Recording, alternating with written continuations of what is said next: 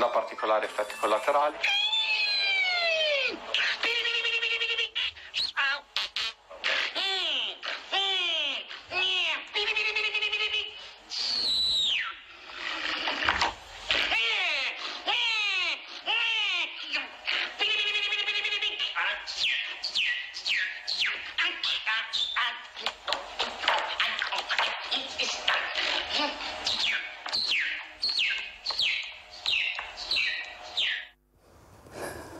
Ventuno e 19 la prendiamo un po' sempre così alla leggera per sdrammatizzare, serve un po' anche sdrammatizzare no? in questi tempi, eh, tempi bui, eh, potrebbero essere anche questi gli effetti collaterali. A volte si dice che eh, i vaccini provochino delle, delle conseguenze tremende, decessi eccetera, però si è visto e domani risponderà su questo lema che eh, pare che non ci siano correlazioni tra vaccinazioni e decessi o altri, ehm, altri effetti, tra cui anche trombosi, insomma, cose anche non di lieve conto, ma insomma cerchiamo, di, cerchiamo, di, stare con i piedi per terra, di eh, pensare soprattutto a vaccinarci tutti, dal primo all'ultimo, perché è l'unica soluzione possibile rispettando i nostri turni, i turni che sono stati fissati delle, dell'età dopo aver vaccinato soprattutto tutti coloro che sono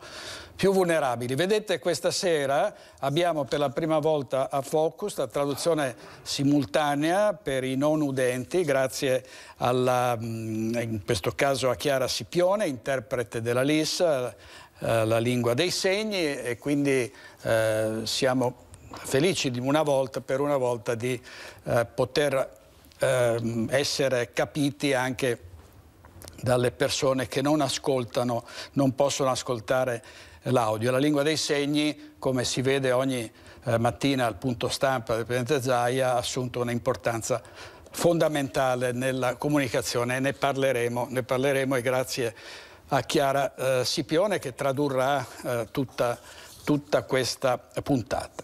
Allora eh, aspettiamo i vostri sms, i vostri whatsapp, eh, mandateceli come come sempre potete esprimere le vostre opinioni liberamente.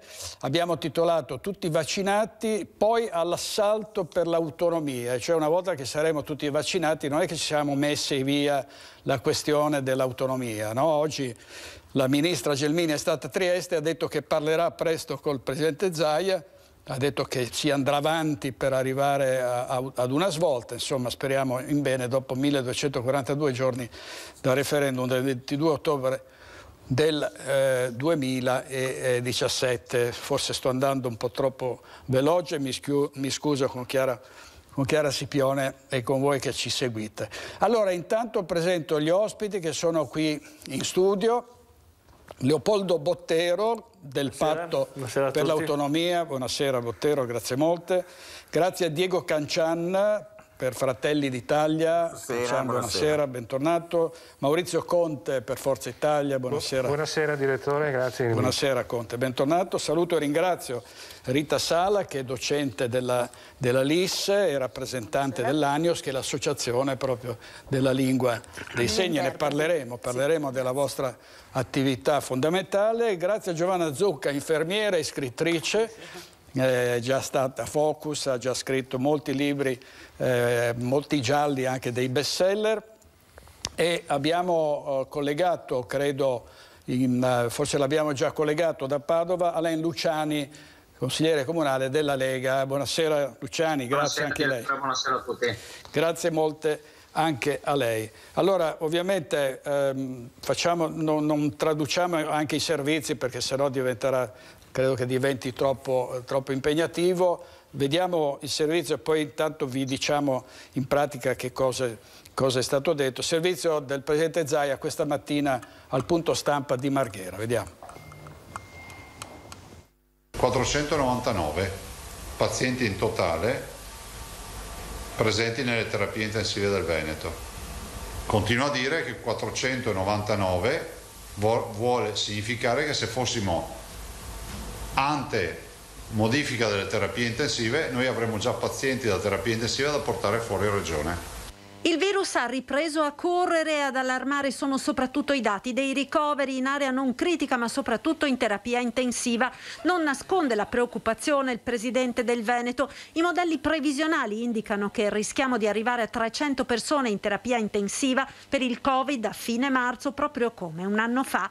L'altra preoccupazione è quella per la campagna vaccinale con lo stop al vaccino AstraZeneca. Ieri sono state fatte oltre 11.900 vaccinazioni con Pfizer e Moderna, quasi altrettante sono state bloccate.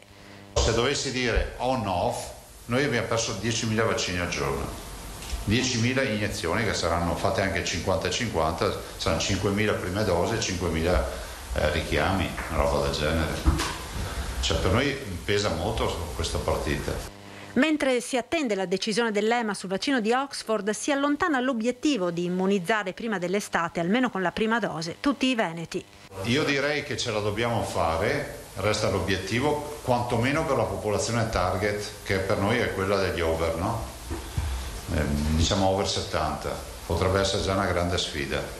Nel frattempo è stato chiuso l'accordo per l'utilizzo dei medici specializzanti nella campagna vaccinale. Circa 1350 tra l'Università di Padova e quella di Verona hanno dato la propria disponibilità.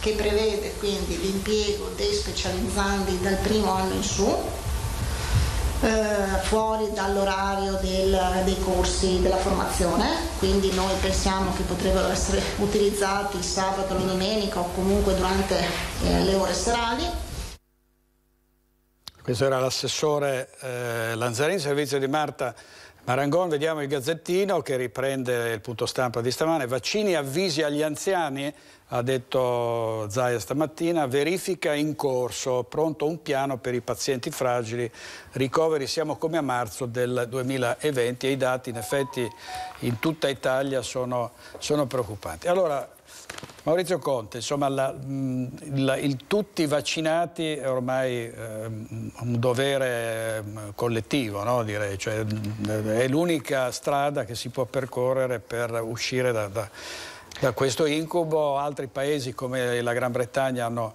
vaccinato già 25 milioni di persone, la metà con AstraZeneca, peraltro non ci sono stati eh, problemi seri. No? Beh, è chiaro che eh, il vaccino in questo momento è la priorità, poi c'è chi non vuole vaccinarsi e sappiamo che il vaccino non è obbligatorio, però una scelta che ognuno fa, soprattutto per una tutela non solo personale ma anche di una comunità che ha bisogno di dare una risposta immediata a quello che è il contenimento del rischio del contagio. Questo rimane e rimane soprattutto anche nella necessità di quei comportamenti che devono in qualche maniera rispettare delle minime regole, soprattutto nell'ambito appunto della, dei, dei, rapporti pubblici e, e purtroppo abbiamo visto che siamo tornati in zona rossa e c'è necessità quindi di limitare il più possibile quelli che sono i contatti non necessari. Però un passo in avanti è stato fatto oggi dal Friuli. Certo. Insieme al ministro Gelmini è stato firmato un accordo che va a, a dare priorità alla vaccinazione all'interno delle attività produttive. E questo secondo me è il punto essenziale in questo momento. Abbiamo puntato per, eh, sulla vaccinazione degli over 80, di quella fascia soprattutto più debole, soprattutto all'interno delle case di riposo, però in questo momento serve dare priorità a garantire chi lavora a quello che è il mondo produttivo, al mondo dei lavoratori, a quell'economia che non possiamo fermare. E quindi secondo me in questo momento bisogna veramente mettere in atto un piano che dia questa priorità. E ben venga quell'accordo che ha fatto il Friuli, spero che anche in Veneto il Presidente Zaia dia questa priorità perché non possiamo fermare l'economia, non possiamo bloccare quello che poi è essenziale soprattutto nel superamento dell'emergenza sanitaria. Quindi questo aspetto è fondamentale, ben ha fatto la ministra Gelmini a dare quel supporto importante anche a livello governativo, penso che questo deve anche essere lo spirito diverso di un governo nuovo che in qualche maniera deve dare appunto anche stimoli nuovi. Ben venga soprattutto quella che poi è la produzione dei vaccini in Italia. Abbiamo riconvertito tante attività per fare mascherine, noi abbiamo eccellenza nell'ambito della ricerca farmaceutica, in quelle che sono le case farmaceutiche, quindi livelli anche importanti a livello nazionale, sfruttiamoli e, e questo deve essere anche l'impegno di un governo che deve dare una priorità di accordi con chi ha i brevetti di questi vaccini per iniziare una produzione che garantisca l'autosufficienza a livello nazionale. Prego, infatti vediamo il titolo del Gazzettino, vaccini in fabbrica, firmato il protocollo ufficiale, ecco come potrà partire, ha parlato anche il Presidente, anche perché poi è molto più agevole per, per tutti coloro che sono, lavorano in azienda essere vaccinati sul posto senza dover andare nei, nei vaccini point o, o, o, nelle, o nelle USMA direttamente all'interno delle, delle loro, delle loro eh, aziende. Allora, ehm, vediamo, non so se avevamo un servizio, no, andiamo da...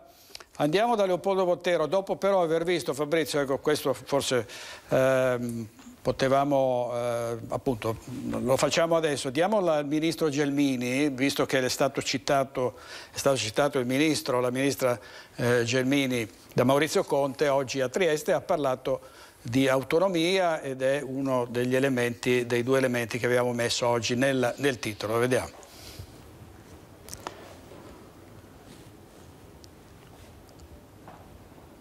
Da Trieste, dove ha presenziato l'accordo per i vaccini in fabbrica, il ministro per gli affari regionali, Maria Stella Gelmini, ha ribadito che l'istanza di autonomia del Veneto è un tema d'attualità su cui si sta già lavorando. Ma rispondo a quello che ho già detto in commissione sulle questioni regionali, dove ho anticipato la disponibilità a, intanto ad un confronto con il Presidente Zaia sul tema dell'autonomia del Veneto e devo dire che qualche confronto l'ho già avuto. Non si tratta di ripartire da zero, è tornata a sottolineare Gelmini, ma di procedere su un solco già tracciato. Penso che sia utile non buttare il lavoro fatto dal mio predecessore, quindi il Ministro eh, Boccia aveva già raggiunto un buon grado di condivisione su una legge quadro sull'autonomia, quindi ritengo che si debba eh, valorizzare questo lavoro eh, già compiuto e si debba andare avanti. Si va dunque avanti e il Ministro dimostra l'intenzione di farlo celermente. A breve sicuramente incontrerò il Presidente Zaia e ci sarà modo di ragionare insieme anche di come procedere una volta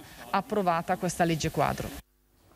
Appunto ha citato il Ministro Boccia e prima di Boccia c'era il Ministro Erika Stefani. Allora, Leopoldo Bottero, eh, ovviamente la, la, priorità è la salute, la pandemia, la sconfitta del Covid, poi però eh, bisogna tornare in mimetica, ha detto il Presidente Zaia, perché bisogna arrivarci all'autonomia. Eh, voi del patto per l'autonomia avete anche abbinato l'autonomia all'ambiente. Che cosa, Beh, cosa diciamo che il primo problema politico a livello mondiale è eh, l'ambiente, perché se non avremo un ambiente in cui vivere, tutto il resto è tempo perso. Quindi qualsiasi partito credo, una volta era una roba da, da, da pazzi, no? parlare di ambiente, di rispetto, eccetera, era quasi una roba chic. Adesso abbiamo capito che è un modo per sopravvivere. Quindi il primo punto che ha il patto per l'autonomia è l'ambiente. Noi aderiamo a un movimento nazionale che adesso siamo una decina di, di movimenti eh, locali che eh, si chiama autonomie e ambiente, cioè vogliamo rispettare tutte le autonomie di tutte le componenti dell'Italia, abbiamo una visione europeista eh, del nostro mondo, sempre nel rispetto delle autonomie di tutti i padroni a casa sua. E, Posso approfittare per fare uno spot gratuito? Eh, venerdì eh, sera eh, e sabato pomeriggio c'è un convegno online, voi cercate autonomie e ambiente eh, e vedrete quali sono i movimenti che partecipano e potrete anche sentire tutta una serie di contributi. Cioè noi pensiamo che il modo migliore per organizzare il mondo sia rispettare il principio della sussidiarietà.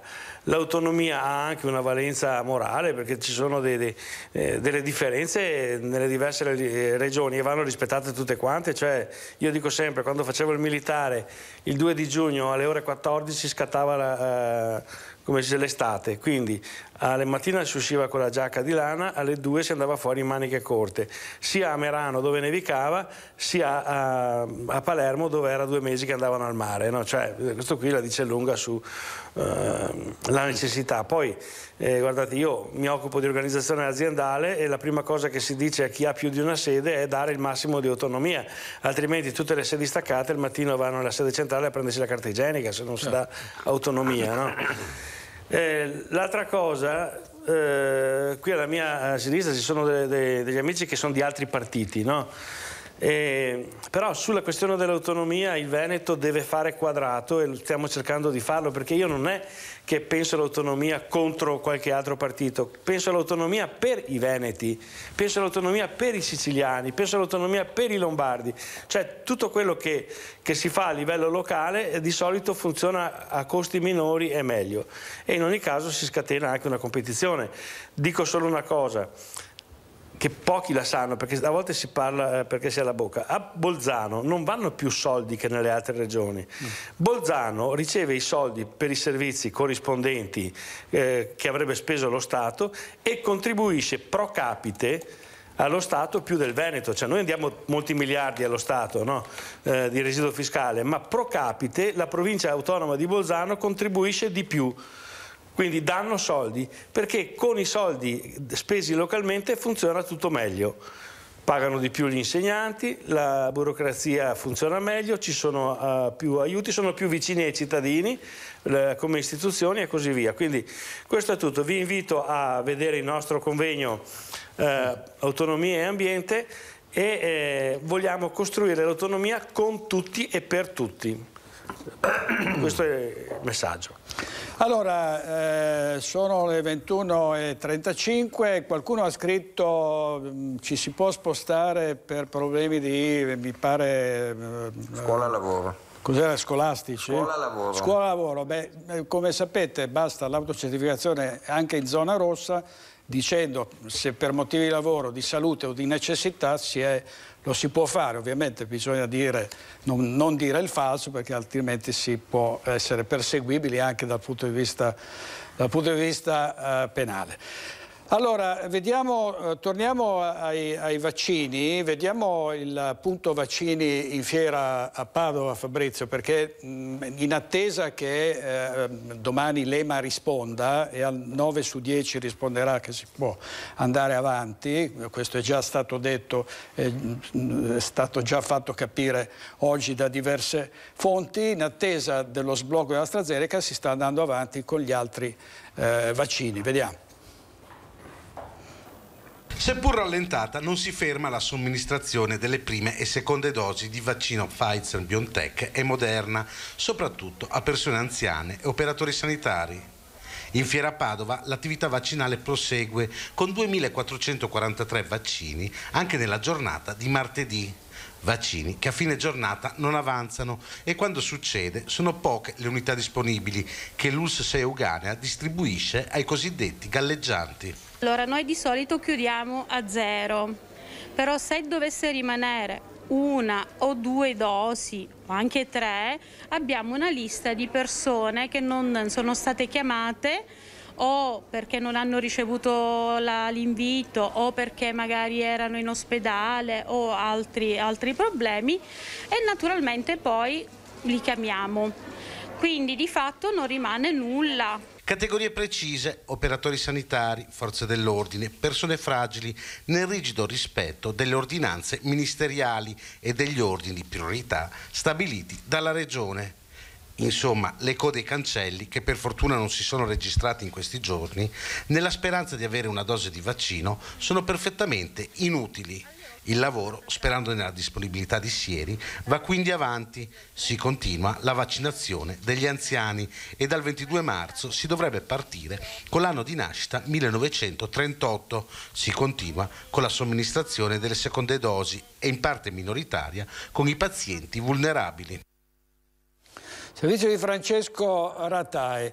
Allora Chiara Scipione sta uh, traducendo con la lingua uh, dei segni e la vedete, vedete, lei e tante sue colleghe al punto stampa, ma la lingua dei segni, uh, dottoressa Sala, viene utilizzata da molti anni in tanti ambiti, no? per esempio anche quello dei, dei, tribunali, no? Del, de, de, de, nei convegni, nelle, nelle manifestazioni, nei grandi eventi, negli ospedali ovviamente eh, però non è stata finora riconosciuta. No? Come mai? Cioè, rispetto ad altri paesi qui, come al solito, eh, come mai? Siamo, siamo il fanalino di coda dell'Europa. Siamo il fanalino di coda dell'Europa.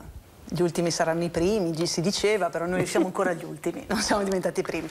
C'è una convenzione ONU del 2006 ratificata dall'Italia nel 2009 che chiede il riconoscimento della lingua dei segni e l'Italia ancora su questo è latitante per vari motivi, perché il processo di richiesta di un riconoscimento legislativo decade quando un governo decade e quindi bisogna ricominciare da capo e noi diciamo che non abbiamo questa abbiamo dei governi un po' troppo brevi a volte. Certo. Questo Vabbè, guardi, per esempio, vedevo i, i, ministri per l'autonomia in tre anni ne hanno cambiati tre, no? La Stefani eh... Boccia e adesso la Gelmini.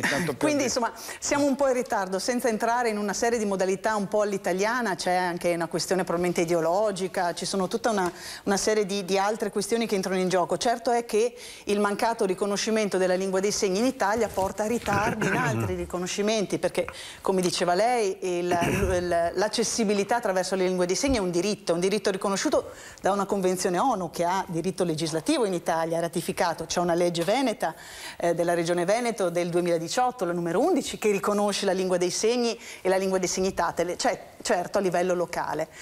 E noi siamo interpreti di lingua dei segni, la traduciamo, come diceva lei, in tantissimi settori, anche molto delicati come il tribunale, come le situazioni ospedaliere, poi ci sono i convegni, i congressi, ma diciamo che eh, eh andiamo presso i notai per gli atti notarili certo. che rischiano di, essere, certo. di essere, invalidati se certo. non è presente l'interprete. Quindi è un diritto di accessibilità che hanno le persone sorde all'informazione, eh, alla, alla, possibilità di poter eh, accedere nelle varie modalità che ci sono, perché c'è la lingua, eh, ci sono i sottotitoli, quindi la lingua italiana attraverso i sottotitoli e la lingua dei segni. Viviamo in una situazione in cui di solito è o o Invece no, accessibilità è a tutto campo, esatto. quindi accessibilità vuol dire dare la possibilità all'altro di scegliere qual è il modo migliore. E noi come interpreti lo attiviamo attraverso la lingua dei segni, che è una vera lingua, eh, che è quindi riconosciuta eh, come tale da ormai molti anni esiste da sempre, ne parla Socrate, quindi eh, Platone quindi nel, nel, Cratilo, quindi esiste da sempre, ha avuto uno stop molto importante alla fine del 1800 perché è stata proibita nelle scuole e invece alla fine del 1900 la ricerca ha permesso di ri recuperare questa lingua, di dare un riconoscimento alla comunità sorda segnante, quindi bilingue, perché usa sia l'italiano che la lingua dei segni, che chiede di poter accedere eh, chiedendo agli altri, a noi, di eh, andare incontro a loro. Perché eh, sa, la lettura labiale è complicata, immaginiamoci adesso con la mascherina, le difficoltà che stanno, le, che stanno, vivendo le persone sorde da un anno a questa parte è enorme, perché se prima nel quotidiano il labiale poteva dare la possibilità di comunicare. Adesso neanche al supermercato possono leggere il labiale ed è un, veramente di una gravità eh, enorme. Le interpreti dovrebbero essere una categoria a rischio perché sono sempre senza mascherina, no? noi... vicino a gente, a persone che sono molto sì. ben protette. Eh, noi infatti in quest'ultimo anno abbiamo cercato di tra, tra, traslare il nostro lavoro da remoto dove almeno uno dei due componenti non aveva la mascherina, quindi noi lavorando da casa, ma non è sempre possibile. In ambito ospedaliero ci sono visite, ci sono tutta una serie di questioni in cui è necessaria la presenza. Eh, certo è che eh, quando si parla di non stare senza mascherina diciamo che il problema non è delle persone sorde, semmai è di tutte le altre persone in cui entrano in contatto, quindi semmai la mascherina non dovrebbero portarla o dovrebbero averla trasparente tutti gli operatori, almeno pubblici, sanitari, certo. e invece è proprio lì che si scontra la difficoltà. Ecco, poi vedremo anche che si tratta di un, di un lavoro prettamente femminile, mi sembra il 70% eh, sì. delle, delle, delle interpreti è proprio Sì. Sono, sono ragazzi, Eh, sono donne. insomma, Una no? ricerca di, di- di qualche anno fa che ha condotto la nostra associazione ha riscontrato appunto che più del 70% è composto da donne. È- un lavoro che riguarda la comunicazione, quindi bene o male la percentuale femminile è sempre molto alta. Eh, il 50% dei professionisti ha un titolo di laurea eh, o equiparato, quindi è una professione che vede una grande, eh, anche a livello culturale, che andrebbe riconosciuto e il riconoscimento della professione passa anche attraverso il riconoscimento della lingua dei segni. C'è una legge europea che lo chiede, una direttiva europea e anche lì abbiamo un, un solo corso di laurea in Italia avviato nel Veneto da Ca' Foscari quest'anno, la laurea magistrale in interpretazione, ma finora anche lì, fanalino di coda, non avevamo altri corsi di laurea. Allora, eh, forse c'è un solo personaggio che non ha bisogno di interpreti, se lo fa- si fa per dire, no? ma lo si capisce molto bene in qualsiasi sua manifestazione. L'ex sindaco di Treviso, lo sceriffo Giancarlo Gentilini, che eh, si è vaccinato. Complimenti sindaco, vediamo. Sono rimasto veramente soddisfatto di questa operazione sanitaria relativa alla vaccinazione. Ma quello che mi ha colpito di più è stata la competenza e la gentilezza di tutti gli operatori.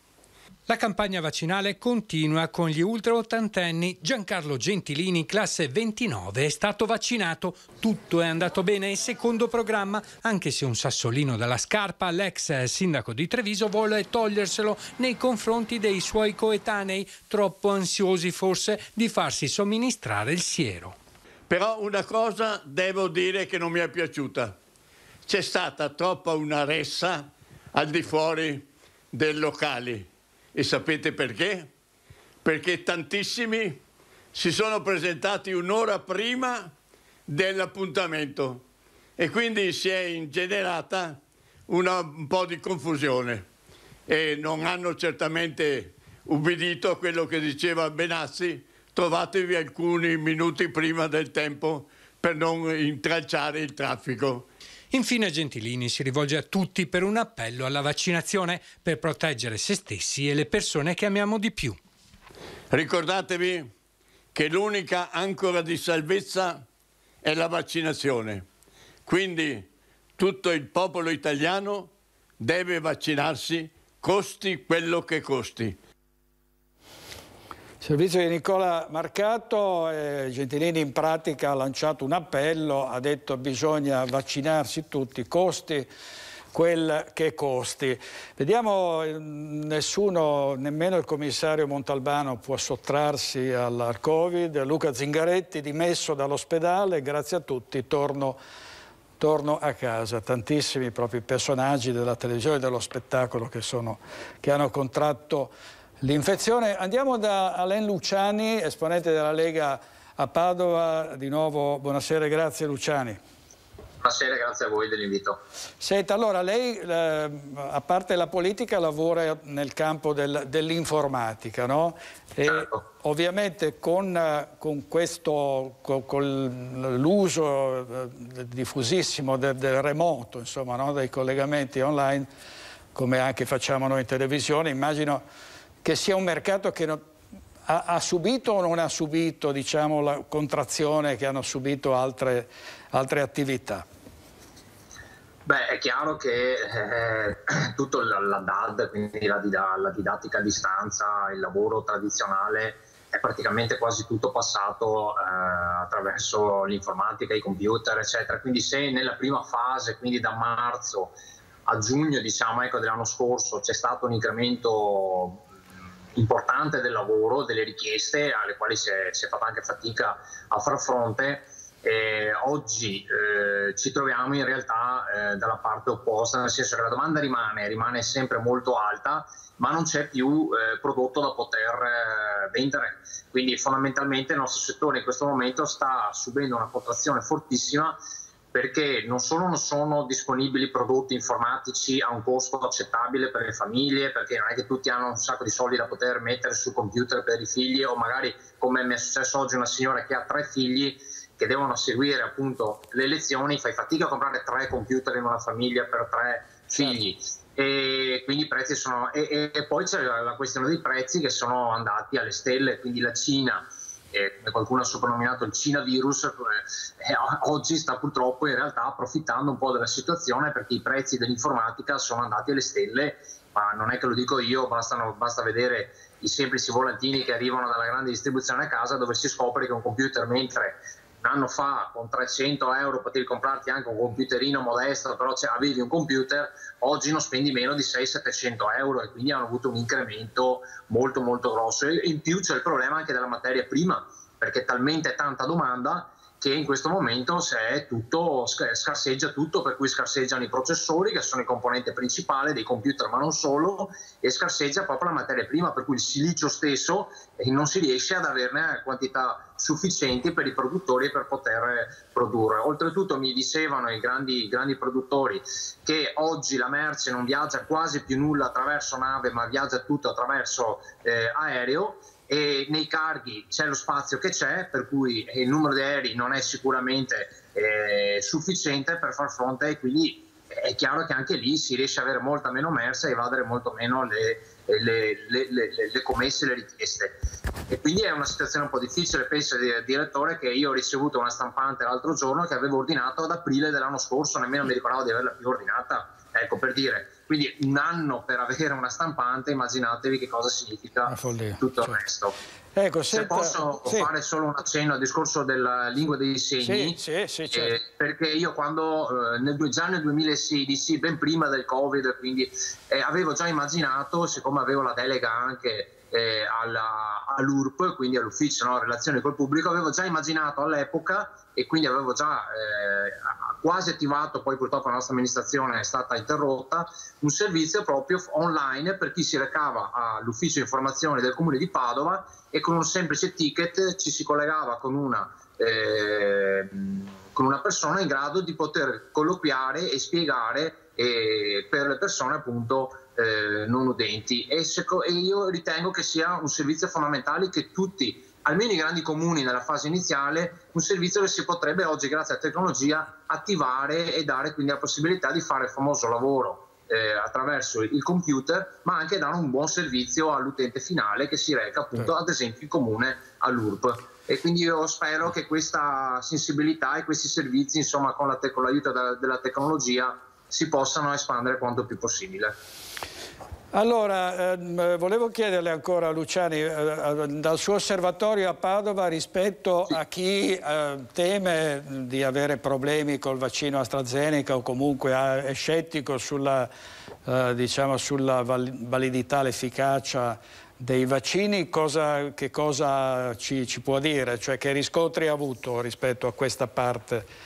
A questa parte? Eh, io purtroppo, direttore, sono sincero, ri- riscontro tante persone che sono scettiche, ma eh, un, po', un po' le capisco anche da un certo punto di vista. Purtroppo non so se è colpa, non voglio dare colpa per carità alla comunicazione, però Eh, insomma, quando sì. accade che c'è una persona che sembrerebbe che sta poco bene, ha dovuto a- subito dopo un vaccino, si è un po' enfatizzato questo aspetto, dopo il vaccino si è sentito male. Io oggi quasi per scherzo ho fatto un post in cui, in cui ho detto riflettete bene su questi numeri. Il 99,99% periodico, ok? Dopo il vaccino non gli accade assolutamente nulla. Ecco, sarebbe bello a volte che si invertissero queste notizie perché mi pare che la gente legga troppo spesso solo i titoli, ma non per cattiveria, per, un po' per pigrizia, un po' per... E, e si soffermi solo sulla notizia negativa, cioè di quell'unico caso magari che può aver anche dato qualche dubbio, per carità. E valutate anche bene se l'EMA ha deciso di sospendere, significa che ci tiene a noi, cioè ci tiene a, a noi cittadini, per cui non-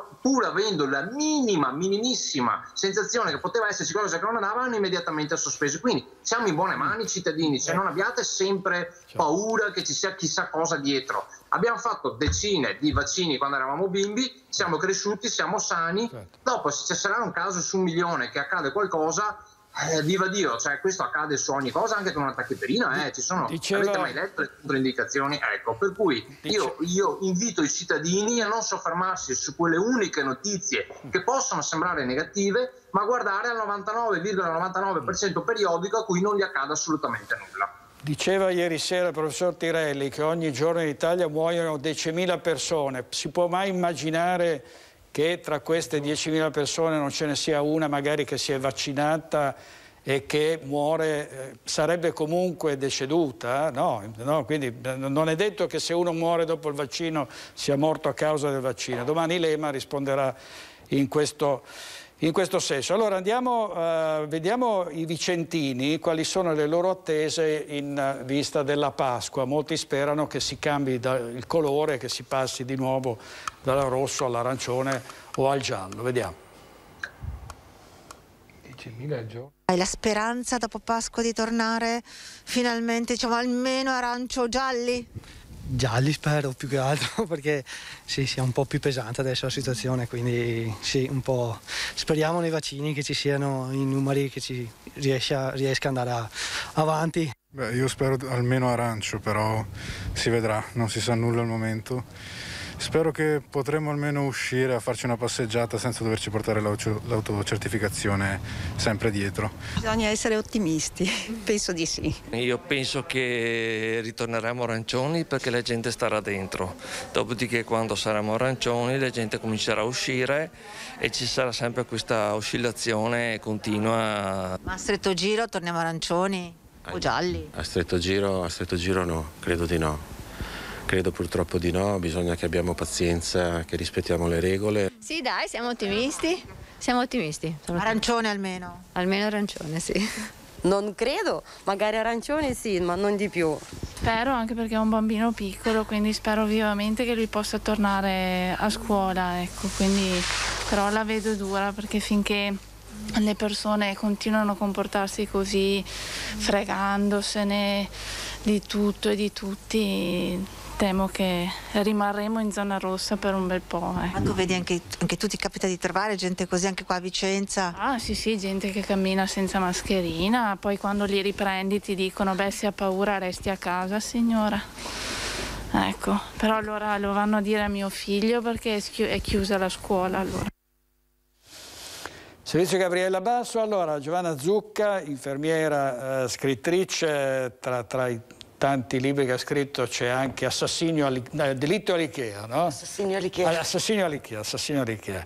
Senta, da cui peraltro insomma, si sta parlando di trarre delle fiction, insomma, quindi è una serie eh, davvero veneta, targata Veneto, molto, molto letta, molto, molto seguita. Senta, eh, signora Zucca, eh, lei rispetto a quello che sta accadendo, cioè rispetto a, a, persone che saltano la vaccinazione, alla ricerca dei cosiddetti riservisti, cioè coloro che all'ultimo momento sono disponibili a farsi vaccinare al posto di chi non ha, non ha potuto o, o, non ha voluto eh, somministrarsi il vaccino, lei cosa, da, anche come infermiera che, che cosa ci dice? Dico questo, che è, è, umana e comprensibile la paura, sì. è umano perché eh, e torno al discorso della comunicazione e della lingua. Qua abbiamo due dottoresse interpreti che ci stanno facendo capire anche stasera quanto è importante per noi la comunicazione.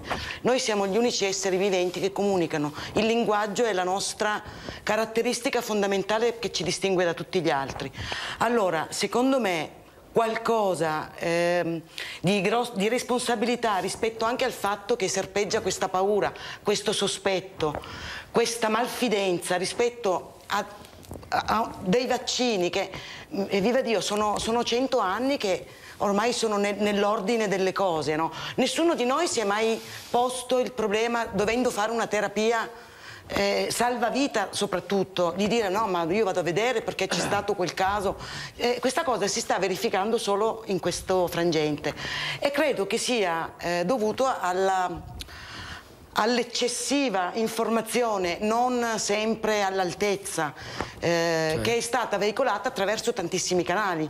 Eh, ho letto da mm. qualche parte, adesso non mi ricordo dove, che sì. forse sui social, che se la penicillina fosse stata inventata ai tempi dei social saremmo morti tutti, perché non ci sarebbe stato nulla di quello eh, che c'è stato dopo.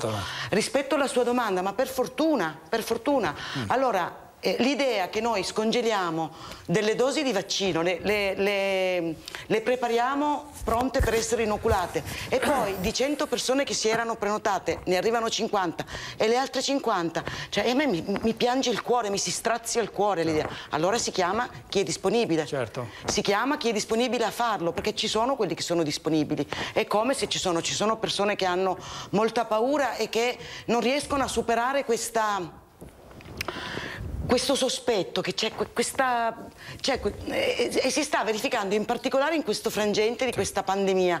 Eh, c'è questo lo diceva prima molto bene Alan da, da Alan Padova. Luciani, sì. c'è questa sensazione che tutto quello che accade deve avere per forza un sottotesto che io devo guardare con sospetto. Ah ma allora perché? Allora l'EMA l'EMA giornalmente quotidianamente ritira dei lotti di farmaci perché c'è stata una segnalazione. Non è detto che poi ci sia una correlazione. È comunque comunque filosoficamente parlando la relazione di causa-effetto è una gabbia, perché non è sempre così cristallina.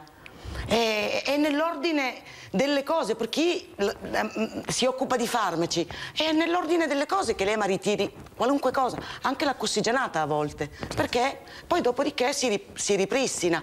Quindi tutto questo eh, malessere che, che, sento serpeggiare, questa paura, questo sospetto, cioè combattiamolo, perché se no non ne usciamo più. È l'unica via la cioè, vaccinazione, sono, è l'unica via. Diciamo, è una società che ha cioè, ha delle reazioni un po' isteriche delle volte, no? E cioè, questo non siamo eh, lei ha perfettamente ragione. Per, per perfette, ha perfettamente certo, ragione, no. ma è una reazione isterica che probabilmente è indotta dall'eccessivo flusso di informazioni che non siamo in grado di processare. Prima qualcuno diceva si leggono solo i titoli, è vero. È vero perché se io bazzico i social perché per via dei libri leggo un titolo, poi vado a leggere l'articolo e a volte il titolo è per enfatizzare qualcosa che è nascosto nel, nel, nel, testo. Ma i commenti si fermano al titolo. Sì, sì, non, non, nessuno più le... Ma perché? Non perché siamo diventati improvvisamente tutti eh, cattivi, stupidi, ignoranti, perché abbiamo un, un flusso continuo di informazioni che non siamo in grado di processare. È troppo, troppo. Benissimo. Tra l'altro in genere nei giornali le querele arrivano proprio per errori nei titoli, perché chi fa il titolo a volte non ha scritto l'articolo e viceversa, quindi sono titoli sballati ed è su quello che si fa poi, si viene così processati per, per diffamazione, quando, quando la, la, diffamazione c'è. Allora, vediamo i, i baristi, eh, molti dicono, beh, eh, io noi come baristi, se potessimo, vaccineremmo tutti i nostri dipendenti così non avremmo più problemi e potremmo stare aperti. Sentiamo cosa dico. Non possiamo più permetterci il lusso di avere persone non vaccinate, soprattutto dopo che stamattina il Comitato Tecnico Scientifico ha detto anche se uno è vaccinato ed è a contatto con uno con il virus, deve fare la quarantena. Noi non possiamo permetterci di chiudere le nostre aziende o mettere in quarantena le persone. No, devono essere tutti vaccinati, altrimenti si cambia lavoro. Si lavora da casa. Io baristi che possono lavorare da casa non li trovo. Così Maurizio Molea, titolare di tre attività di bar e ristorazione a Vicenza e 20 dipendenti. A due mesi dall'avvio della campagna vaccinale è imperativo l'urgenza di vaccinare più persone nel minor tempo possibile, dosi disponibili permettendo, prioritariamente per tutte quelle attività in relazione con il pubblico. Tra le ipotesi organizzative in discussione anche la diversificazione dell'offerta vaccinale in luoghi diversi da quelli sanitari come gli ambienti di lavoro. Erano già oltre 4.000 ieri le aziende a livello nazionale che hanno dato disponibilità. Se io domani mattina potessi comprare i vaccini per i miei dipendenti, mettere a disposizione un ambulatorio qualsiasi e portarli tutti a vaccinare, l'avrei già fatto. Dovrebbero darci la possibilità di poter vaccinare i nostri collaboratori ossia renderci quasi responsabili. Siamo sostituti d'imposta, siamo sostituti anche della sanità. Io porto i miei collaboratori a vaccinarsi. Libero mercato dovrebbe essere questo. E se un suo dipendente si rifiutasse? Mi dispiace, con eh, il cuore a pezzi, ma direi trovaci un altro lavoro o un altro datore di lavoro. Io non posso permettermi certi lussi. Servizio di Daniele Garbini. Allora, Diego Cancian, Fratelli d'Italia, ovviamente l'unico partito all'opposizione, Draghi è abbastanza così eh, sotto tiro, prima si diceva che Conte parlava troppo, pontificava troppo, adesso si dice che Mario Draghi eh, non parla abbastanza, insomma non si è mai, si è mai contenti. Rispetto, rispetto, al governo lei cosa pensa su, sul versante della, della, lotta al Covid? E sui ristori anche vorrei dire, anche Beh, perché si sta parlando di ristori messi a punto, ma... Secondo me è cambiato abbastanza poco, però insomma... Mm è una cosa che vedremo anche un po' più avanti. Eh, è chiaro che prendere in mano una situazione eh, non, è, non, è, facile rovesciarla per raddrizzarla, no? Però, specialmente quando è tanto storta, però insomma mi pare che la linea sia stata sempre quella e continua ad essere quella. Io condivido il discorso che faceva prima Maurizio, Conte. Eh, io non capisco perché no, si debba avere come eh, priorità gli ultra ottantenni e che sono quelli che possono rimanere a casa e quindi possono essere tutelati, che possono essere gestiti e tutto il mondo lavorativo invece deve morire, ma non morire perché prende il Covid, morire perché morirà economicamente. Voi provate a pensare in questo anno qualsiasi attività che aveva aperto da un anno o due e che cominciava a lavorare, che fine farà? Cioè nel momento in cui eh, finirà questa pandemia, eh, finiranno il blocco dei licenziamenti, provate a pensare quante persone saranno a casa, quanta gente rimarrà a casa perché non ha potuto lavorare e perché gli hanno impedito di lavorare per tutelare forse delle persone che in realtà potevano rimanere a casa. E non abbiamo pensato a niente di tutto questo. Allora, io ho una suocera che ha una certa età, quindi so cosa vuol dire avere degli anziani, ma so anche che se la teniamo a casa e la tuteliamo è molto difficile che lei prenda il Covid, è molto più facile che la prenda mio figlio che lavora in qualche laboratorio certo. o mio nipote che lavora in, in qualche hotel. Cioè, è questa la cosa che secondo me è folle. Quello che ha fatto oggi la Gelmini con eh, il presidente della regione del Friuli Venezia Giulia è una cosa che andava fatta subito, subito andava fatta. Cioè, a noi eh, come imprenditori ti fanno fare il controllore per gli infortuni e per la preparazione degli infortuni, il controllore per l'evasione delle tasse, il sostituto d'imposta, il controllore per qualsiasi cosa tu faccia o dica e questa cosa che era necessaria, no, la gestiscono loro in, in questo modo qui, poi che oltretutto è, è uno dei modi, a mio avviso, completamente sbagliato.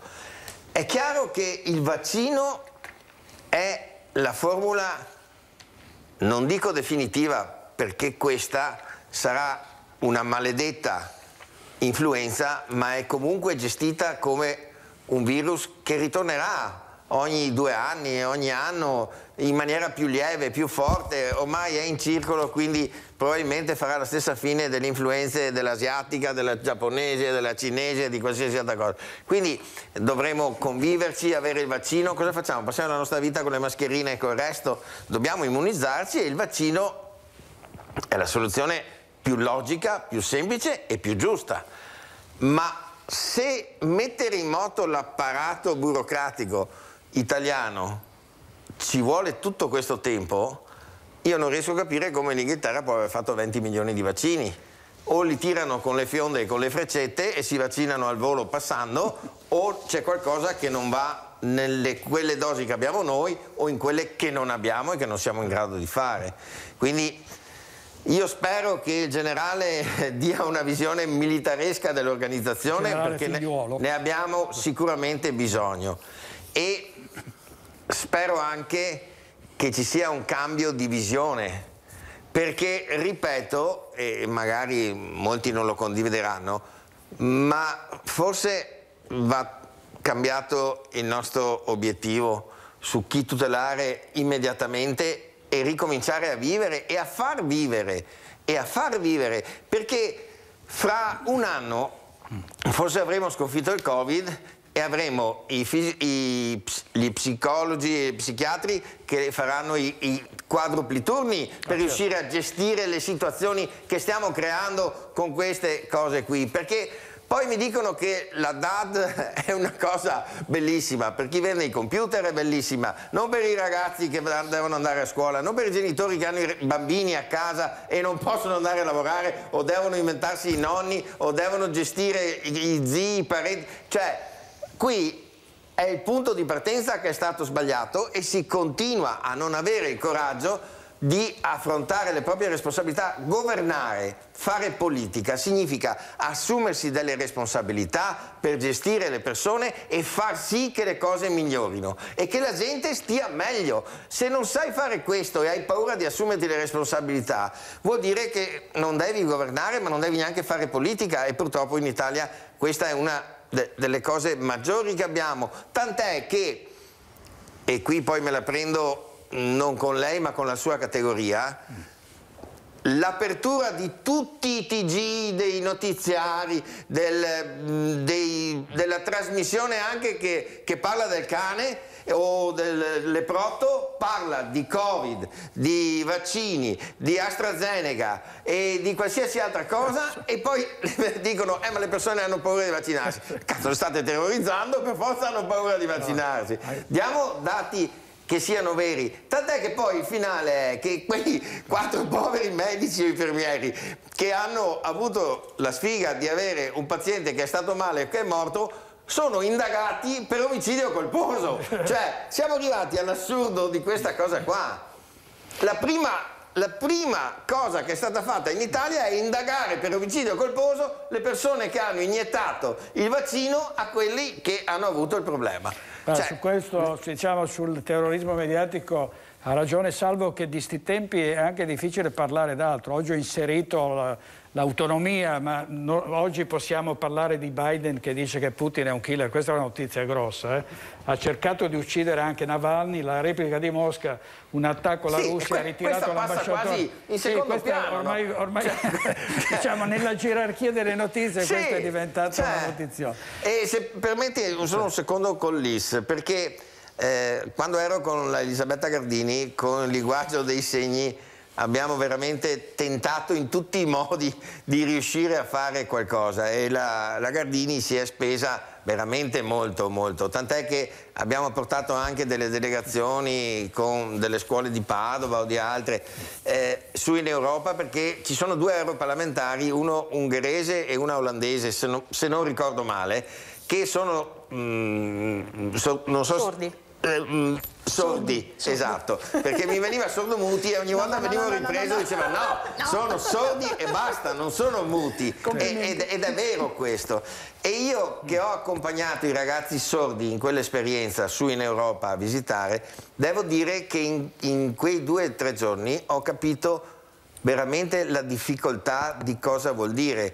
Perché per me qua erano tutti ragazzi di, di 18 anni quindi molto vivaci mi veniva normale dirgli Antonio vieni qua, ma Antonio vieni qua che non mi sente, certo, cioè, lo devi certo, rincorrere, certo. prenderlo, farti vedere, cioè, è veramente una cosa non e non riconoscere queste cose è da un paese non del terzo mondo, è un paese incivile secondo Assolutamente. Me. Allora poi ehm, c'era Vottero che voleva intervenire, vediamo prima eh, gli esercenti che dicono sì, eh, se volete eh, teniamo chiuso ma eh, dateci nuove regole eh, e fateci, e, fateci, in qualche modo eh, lavorare. Vediamo. Nuove indicazioni per cercare di arginare il diffondersi dei contagi. Così l'Istituto Superiore di Sanità, il Ministero della Salute e l'Agenzia del Farmaco hanno reso noto alcune raccomandazioni, tenuto presente che i dispositivi di sicurezza vanno tenuti rigorosamente e soprattutto in maniera corretta, perché sono l'unico modo che abbiamo per contrastare il dilagare delle varianti. Fra le indicazioni quella di rispettare la quarantena anche per chi è stato vaccinato se ha avuto contatto con un positivo al coronavirus.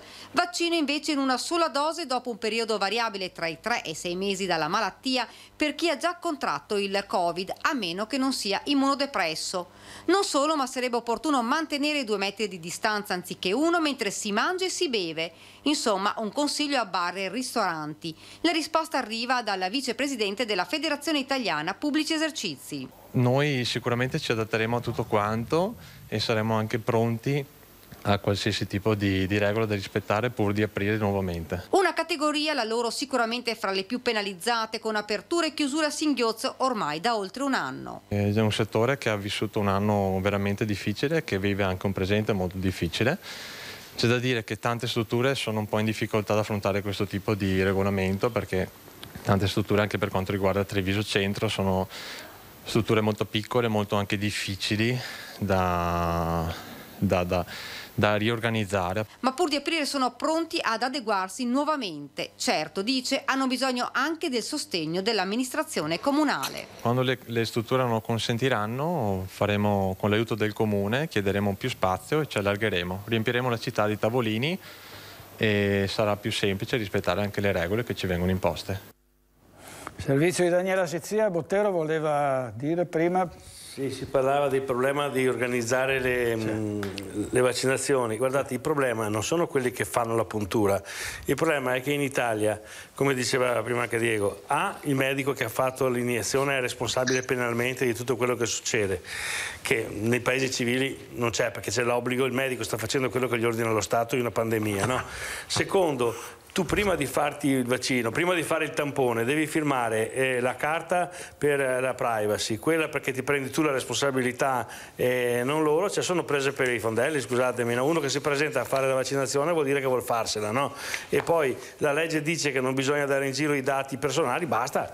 Cioè cosa stiamo a firmare le carte? E, e sempre fa scopa con le altre due carte inutili che abbiamo noi, la dichiarazione cos'era dell'antimafia, quanti mafiosi hanno preso con l'antimafia. Con l'antimafia. Seconda... E, e, ogni posto devi fare la dichiarazione antimafia. Io adesso esco, sì, adesso io esco da casa per andare al lavoro, per andare a fare delle cose diciamo, che devo fare non mi ferma nessuno perché devo scrivere una carta che non si legge nessuno scrivendo che devo venire da Baciale a fare una trasmissione no? Beh, se mi fermano, mi chiedono, glielo dico e poi devono comunque capire se è vero o no ma se io l'ho scritto cos'è che cambia? Ho perso, ho, ho, tiro giù una foresta perché devo stampare queste carte qua e, e, ho scritto delle cose che se poi non vanno a verificarle non vuol dire niente. Un mio amico l'altro giorno l'ha postato perché stava in aeroporto, doveva andare alle Canarie perché abita lì.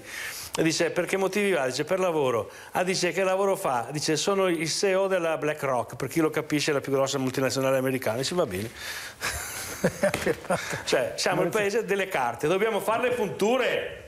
No, è carta. Alle punture, Conte, Maurizio Conte? Sì, beh, si parla appunto di, di prevenzione e soprattutto di intervenire in maniera strutturata. Eh, forse questo periodo non l'abbiamo sfruttato per garantire anche nell'ambito sanitario interventi di un certo tipo. Sappiamo cosa vuol dire la reazione all'interno di una sala operatoria, di un ambiente che dovrebbe essere sanificato, che dovrebbe garantire appunto un certo tipo di garanzia sotto l'aspetto anche dei contagi. Ma questo l'abbiamo visto anche già prima del coronavirus. Quanti operati all'interno delle strutture sanitarie purtroppo hanno preso dei virus.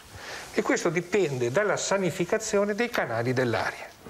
Purtroppo, direttore, non mi sembra che anche in Veneto sia stato fatto un intervento strutturato e di sanificazione di quello che sono gli ambienti sanitari.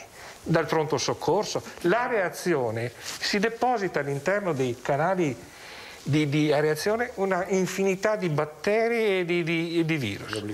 Serve quindi anche qua sfruttare le nuove tecnologie. Abbiamo strumentazioni, tecnologie che garantiscono la sanificazione dell'aria. Adesso ce ne sono parecchi che stanno proponendo appunto anche piccoli sì, che attraggono e sanificano e eliminano quelli che sono batteri e virus all'interno dell'ambiente e dell'aria. Nelle scuole sono questi gli interventi. Qualche sindaco è stato bravo ha acquistato ad esempio questo tipo di sanificatori, li ha messi all'interno delle scuole e ha dato un segnale di attenzione. Dovremmo farlo in Il maniera... problema è che gli hanno chiuso la scuola. No, no, no, no, sono state chiuse altre scuole, Sì, ma adesso, no. adesso gli hanno Adesso gli hanno chiuso chiuso la scuola. Ma bisogna appunto capire che in questo momento dobbiamo anche investire in nuove tecnologie e soprattutto anche garantire che nell'ambito delle strutture sanitarie ci sia quella garanzia che purtroppo non c'era già prima. E quindi investire su quelle che possono essere eh, eh, strutture eh, anche a livello territoriale, perché poi c'è l'altro aspetto, dobbiamo puntare su una medicina territoriale che garantisca servizi più possibili di filtraggio rispetto a quello che è la grande struttura sanitaria. Abbiamo visto qual è stato nella prima fase un problema di eh, inquinamento, di, di cre- contagi all'interno delle strutture sanitarie, perché? Perché non c'è stato un filtro. Qui dobbiamo potenziare la sanità territoriale, ambulatori, medici di base, che diano veramente un supporto alla sanità pubblica. Ah, scusa, posso dirtelo solo al volo, perché eh, adesso il TAR ha riconosciuto il fatto che i medici di base fanno bene a prescrivere immediatamente l'antinfiammatorio ed eventualmente l'antibiotico ai pazienti che sono ammalati di Covid. Io ho fatto il Covid, ho fatto così e dopo dieci giorni ero a posto e, e non ho avuto nessun problema. Allora, quello che non capisco è come può una procedura sanitaria ordinare che ci sia la, tranquillamente l'attesa che il virus si manifesti in forma molto significativa prima di fare qualcosa. Cioè, ma io questa è una cosa che non, non- non penso sia eh, né in cielo né in terra, però abbiamo avuto, e, e Sosminski di, di Conegliano, è un- Chomsky, di Santa Lucia è un esempio, ma ne abbiamo avuto centinaia di medici che hanno fatto così e non hanno perso un paziente. È chiaro che se io aspetto di avere la polmonite e che va avanti e poi vado in ospedale, è, è chiaro che intaso gli ospedali. Sì, come diceva però questo è, un, diciamo, è stato superato questo scoglio per cui si può procedere anche in questo, in questo senso. Allora vediamo il caso di Vicenza a proposito di scuole, nonostante la zona rossa eh, sono state riaperte le scuole comunali dell'infanzia per 362 bambini. Vediamo il caso di Vicenza. 120. Zona rossa, la scuola chiude, anzi no, non tutta. La regola della didattica a distanza è confermata, ma con un'eccezione. Nelle scuole dell'infanzia comunali di Vicenza, infatti, è stata data la possibilità ai bambini con disabilità di tornare in classe. E noi andiamo ad accogliere, ma soprattutto ad includere bambini con qualche disabilità che abbiamo regolarmente frequentanti tutto l'anno nelle scuole materne comunali. Sono circa 30 e 26 hanno accettato di buon grado e richiesto di poter frequentare. Così in 13 scuole comunali dell'infanzia a Vicenza 26 bambini con qualche disabilità tornano a frequentare e non da soli, ma con altri gruppetti di bambini della stessa sezione che a rotazione potranno anche loro continuare la loro attività con le maestre. Ora vanno a scuola circa 100 alunni, la settimana prossima altri 100, la settimana dopo altri 100. Il dato comune è che comunque i bambini con qualche difficoltà potranno andare a scuola tutti i giorni. A questi bambini viene assicurata accoglienza, inclusione e anche continuità con l'iter educativo. Una risposta importante anche per le famiglie dove papà e mamma lavorano. E oggi il prefetto di Vicenza ha confermato al sindaco anche la possibilità per le persone con disabilità e per i loro accompagnatori di uscire di casa in deroga al limite previsto della vicinanza alla propria abitazione. Le scuole comunali materne si sono organizzate per poter permettere ai bambini e le bambine con disabilità di poter andare a scuola insieme a qualche loro compagno. Eh, è una richiesta che ci è stata presentata eh, direttamente dalle famiglie con eh, ragazzi disabili e dalle associazioni anche di questi familiari. Il prefetto oggi ha anche confermato al sindaco che eh, le persone che accompagnano, che assistono un loro familiare eh, disabile eh, possono in deroga ai 200 metri poter uscire di casa, ovviamente muniti di autocertificazione. Servizio di Carlo Alberto Inghilleri, ringraziamo ancora Chiara Sipione che è sempre tra, tra le interpreti del punto, del punto stampa questa sera qui a, Focus, e grazie alla dottoressa Rita Sala. Eh, lei eh, prima diceva manca un riconoscimento. Che tipo di riconoscimento auspicato? Cioè ci dovrebbe essere un albo delle interpreti, dovrebbe essere in qualche modo eh, codificato il lavoro? Allora, mh, eh, il riconoscimento della professione passa anche attraverso una formazione riconosciuta. Sì. Quindi l'obiettivo anche della nostra associazione di Anios è che la professione arrivi sempre di più in ambito accademico, dove si formano i professionisti. Noi abbiamo una, una legge 4 del 2013 che riconosce le professioni che non hanno un albo. Parlare di albo in questo momento dove ormai li stanno un po' eh, non, non- togliendo, Sì, non sì, ha molto senso. Ha senso un riconoscimento della professione che vuol dire un riconoscimento della qualità, del percorso, della delicatezza in cui noi ci troviamo a lavorare, tenendo conto che è una libera professione e che non può essere equiparata a un'idea di volontariato. Molto spesso accade perché quando si lavora con le persone disabili, perché le persone sorde rientrano in questa categoria, si fa molto anche, eh, si chiede un po' di aiuto perché è un momento complicato, perché eh, dobbiamo eh, stare vicini, perché lavoriamo nel sociale. Certo, però un'altra come si- prima cosa, si parlava di bollette, di tasse, di cose, queste fanno parte del gioco. Anche perché, dimostra anche la, la statistica di cui abbiamo parlato prima, c'è una garanzia di qualità professionale, di istruzione che ha bisogno di una contropartita anche no- economica, si chiama lavoro, no? Si chiama Eh, professione. E attraverso di noi emerge anche una struttura della società che molto spesso, una parte della società che molto spesso è cosiddetta invisibile, noi sordi, ne parlava lei prima. Ma eh, eh, noi certo diamo accessibilità, adesso Chiara sta dando accessibilità a quanto sta avvenendo in trasmissione, ma noi diamo anche accessibilità al contrario, permettiamo a chi sente di entrare in un mondo, quello delle persone sorde, che ha tantissimo da dare. Abbiamo parlamentari europei sordi, abbiamo docenti universitari sordi, abbiamo avvocati, abbiamo... e perché non dare anche a loro la possibilità di esprimersi nella modalità loro- da loro scelta. Può essere l'italiano, può essere la lingua dei segni, nella libertà di poter scegliere come comunicare, avendo una lingua riconosciuta, aspettiamo anche questo riconoscimento, e attraverso il nostro lavoro poter far vedere qual è il valore che le persone sorde possono dare alla comunità. Perché perché esiste, è un grande valore, non è solo quello del ci insegnano, ci danno eh, perché stare vicino a un disabile, no, no, no, no, non è questo il valore, è il- proprio il contributo che le persone sorde possono dare alla società. I sottotitoli sono utili a tutti. L- L'avere un interprete a scuola o un assistente alla comunicazione non aiuta solo il bambino sordo, ma aiuta la classe. Permette di far vedere che esiste un altro modo di stare al mondo. È un modo che usa gli occhi, che usa le mani, che usa il corpo e che comunica. Che in questo momento vive una grande difficoltà che deve essere presa in carico da noi. Non si può dire alle persone sorde mettetevi la mascherina trasparente o darla alle persone sorde. Perché Diciamo che nella comunicazione le persone sorde sono dei campioni, da sempre hanno dovuto barcamenarsi in un mondo che non ha mai capito molto spesso come interagire con loro. Quindi smartphone li ha aiutati molto. Eh? Lo smartphone. lo sma- beh, la, la vita è cambiata dagli anni 90 in poi perché Esatto. la tecnologia assolutamente è di grande aiuto, quello che si diceva anche prima, quindi quello che diceva prima eh, il consigliere comunale Luciani, cioè la tecnologia ci sta aiutando. Però c'è ancora quest'idea che il sordo vale se parla bene, si- gli si chiede di, di sentire.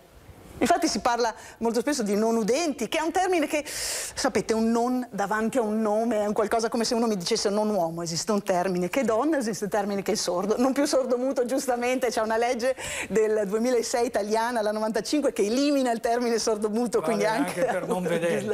legislativo.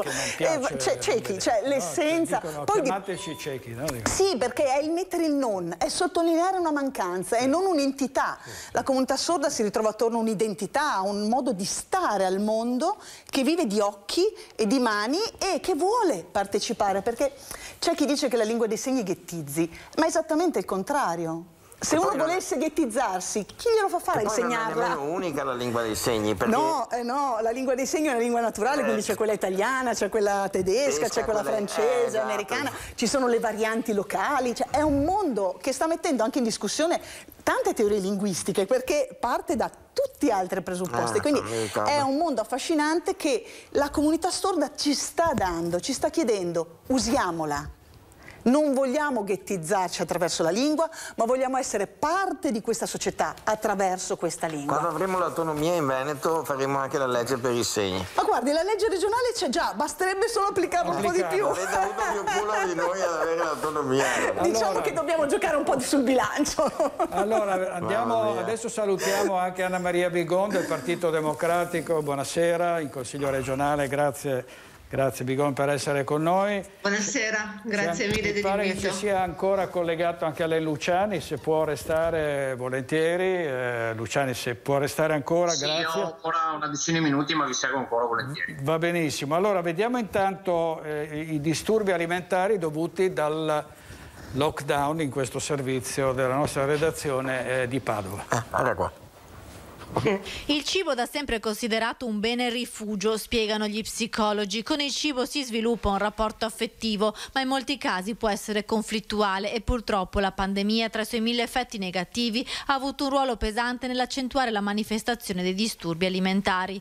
Lo stress e l'ansia per la situazione, il lockdown e ora ancora la zona rossa hanno portato molti a rifugiarsi nel cibo oppure ad evitarlo, ma la pandemia ha esasperato situazioni già fragili. Le persone che già soffrivano di disturbi alimentari sono gravemente peggiorate. In più c'era la complicazione che per esempio era difficile avvicinarsi ai servizi proprio a causa del Covid e altre persone che invece non ne soffrivano si sono eh, ammalate ulteriormente, si sono ammalate producendo dei veri e propri disturbi alimentari che poi si sono trascinati nel tempo. La corsa ai supermercati per riempire le dispense durante il lockdown, la convivenza forzata, per i ragazzi la DAD e i lunghi periodi in casa senza valvole di sfogo hanno rappresentato un momento cruciale in cui spesso il rapporto con il cibo è stato compromesso. Secondo l'Istituto Superiore di Sanità i disturbi alimentari come anoressia e bulimia sono aumentati dal 30 al 36% nell'ultimo anno e si è abbassata la fascia d'età interessata. Il problema eh, è che ultimamente intanto si è ancora più abbassata la fascia di insorgenza e troviamo disturbi alimentari che riguardano anche bambine di 8-10 anni. E non sono solo le donne ad essere colpite. Ci sono le altre due forme che sono forse meno conosciute, ma che riguardano molto di più il sesso maschile, che sono la vigoressia, detta anche complesso di Adone, che è questa cosa paradossale per cui eh, gli uomini che ne soffrono non si sentono mai abbastanza grossi, abbastanza muscolosi. Lo troviamo molto spesso nelle palestre, nella popolazione che frequenta le palestre. E l'ortoressia, che invece ha a che vedere con ehm, il forzare un'alimentazione nella direzione del fatto che sia salutistica, assolutamente salutistica, ma poi questo salutismo diventa ipersalutismo e diventa patologico. Servizio Valentina Visentini, dottoressa eh, Zucca, beh, eh, diciamo sono atteggiamenti e comportamenti che prescindono un po' dal lockdown, no? Cioè, eh, siamo comunque a volte eh, così eh, tendiamo alla, alla, come veniva chiamata, la sindrome di Adone piuttosto che il voler essere per forza di cose molto sani, no? Sì, eh, se posso permettermi, faccio solo una precisazione rispetto a una Sì. cosa che ha detto l'ospite precedente, rispetto alla, alla salubrità, eh, de- de- lei ha nominato le sale operatorie, io ci vivo, quindi eh, volevo solo precisare, non entro nel merito di altre strutture che non conosco, però nella mia sala, nel mio ospedale, eh, posso garantire e affermare senza timore di essere smentita da nessuno che c'è una attenta e precisa e anche con grande disagio da parte mia eh, eh, manutenzione di tutto quello che è l'arieggiatura dell'aria. Sono flussi particolari, la sala operatoria ha un tipo di circolazione d'aria particolare, sono gradienti pressori, per cui all'interno l'aria è più concentrata perché eh, ci sono dai 200 ai 400 ricambi d'aria al minuto. Eh, ogni credo 15 giorni il sabato mattina vengono i tecnici con notevole disagio da parte mia che sbuffo perché se sono in turno vuol dire che mi devo preparare i miei carrellini con tutti i ferri e andare ospite in un'altra sala se mi arriva un'urgenza. Quindi questo siccome ci vivo e lo so e, e ci tengo particolarmente perché posso garantirlo senza tema di essere smentita, siccome si fa nella mia sala non vedo perché non si debba fare anche il pronto soccorso per esempio, se questa è la consuetudine del mio ospedale. Anche sui reparti Quindi- stessi. eh. Sì, io mm, guardi, garantisco per quello di cui Sì, sono sì. certa, ma essendo la mia sala all'interno dell'ospedale di Treviso, eh, se questa è la prassi, la buona regola, vuol dire che anche negli altri reparti si, si segue la stessa buona regola. Non entro nel merito di altre strutture perché non le conosco e quindi in genere cerco di parlare di quello che conosco bene. E questo lo conosco bene, quindi eh, ci vivo, è la mia casa e me- me- mi risento di meno se mi dicono che ho la casa in disordine piuttosto che avere la sala operatoria in disordine. perché la sala operatoria è proprio il, il- il mio luogo ecco, del- oltre che di lavoro anche di eh, è la mia identità. Ci vivo da una vita quindi eh, posso avere la cucina in disordine ma la sala operatoria no questo era solo perché Ah, eh, certo, non era certo. una polemica era perché ci vivo e quindi so So- come funziona. Sicuramente ci sono realtà di un sì, certo sì, no, tipo. ma io parlo per l'ospedale di Treviso perché è quello che da 30 anni mi vede, quindi eh, parlo a ragion veduta di, Ecco, di senta, qualcosa che è una buona prassi. Riguardo a traumi da Covid anche psicologici, eh, eh, si questo parla è- tanto di bambini, ma anche sono, sono traumi, bambini e ragazzi per, la questione d'età, eccetera, la clausura, però anche, anche gli adulti sono... Questo è qualcosa che mi fa molta paura. Eh, Mi fa molta paura perché temo, temo che quando questa cosa finirà, perché finirà, noi ne usciremo, perché alla fine questo Covid se ne andrà come se ne sono andate altre cose, riusciremo, perché poi siamo capaci di, di grandi cose. Adesso al di là del pessimismo che serpeggia, questa cosa che deve andare sempre tutto male, Certo. eh, adesso la cosa dei vaccini si, si sbloccherà. Se la Regione Veneto dice che noi faremo tot, eh, 500.000, eh, lo faremo, perché io l'ho visto cosa è in grado di fare la sanità veneta, Certo. lo so cosa può fare e lo può fare. Quindi noi nel Veneto, ma in tutta Italia lo, lo faremo, ne usciremo. Quello che mi fa più paura è come ne usciremo con le ossa rotte probabilmente, al di là dell'aspetto economico che poi non ho titolo per parlarne perché non sono preparata in materia, più- mi sento più di parlare dal punto di vista psicologico e sociale, ne usciremo con le ossa rotte, ne usciremo pieni di malattie dermatologiche mai viste. Dei ragazzi e ragazze che perdono i capelli, che non avevamo mai visto prima. Eh, al- manifestazioni patologiche del comportamento come quelle che diceva la dottoressa, varie sindromi alimentari, Certo. si mangia troppo, si mangia troppo poco, si vuole mangiare assolutamente perfetto, che è la rincorsa al salutismo ottimale, che è la stessa cosa di cercare il rischio zero, non esiste. Sono velleità che sono- si sono esacerbate con questa eh, chiusura forzata, questa, Eh, sì. questa sorta... vi- vi- viviamo... eh, Anche la mancanza di attività anomala. fisica, no? cioè chi andava in palestra non può andare in palestra, è diventato sempre più difficile. Anche in zona rossa c'è chi ha dubbi, dice vado a correre sotto casa, eh, posso andare a... Io ma a un penso questo, l'uomo è un animale politico, è lo zoon politico di Aristotele. Eh, no- noi non possiamo fare a meno, siamo rapporti che si rapportano. Noi non possiamo fare a meno dell'altro perché la nostra identità, identità passa per il rapporto che abbiamo con le altre persone. Questo da un anno è molto complicato, molto difficile. La mia paura è che l'abitudine, la famosa abitudine aristotelica, no? Quella, perché Aristotele cosa diceva? È facilissimo prendere delle abitudini, buone ma anche cattive. La mia paura è che questa mancanza di socialità non diventi una sorta di aberrante normalità. Eh, adesso faccio un esempio che mi riguarda e, e- sono venuta qua questa sera e mi sono sentita quasi a disagio perché dovevo uscire di sera, avevo, mi sentivo quasi strana. Io sono una persona che sono sempre uscita, non ho mai avuto problemi, sono reperibile di notte, mi chiamano, vado, prendo la macchina, parto, vado a presentare libri, mi muovo di sera, Eh, viva Dio, qualcuno mi invita anche qualche volta, sempre meno, ma beh, certo.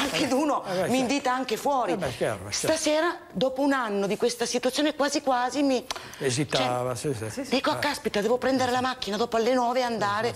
Era quasi qualcosa che mi metteva in Ansia. qualche disagio. E dico, e sono io che sono una coriacea, sono una forte. Cosa succede a un adolescente? Eh, sono- I ragazzi soprattutto sono mh, rischiano di, di avere anche molte lacune, molte- molti traumi. Allora, intanto saluto, devo salutare eh, a questo punto Alain Luciani perché eh, poteva stare fino ad una certa ora. Luciani, grazie molte. Eh. Se vuole aggiungere, no, voi, fare un'ultima battuta prima di, Sì. di salutarci.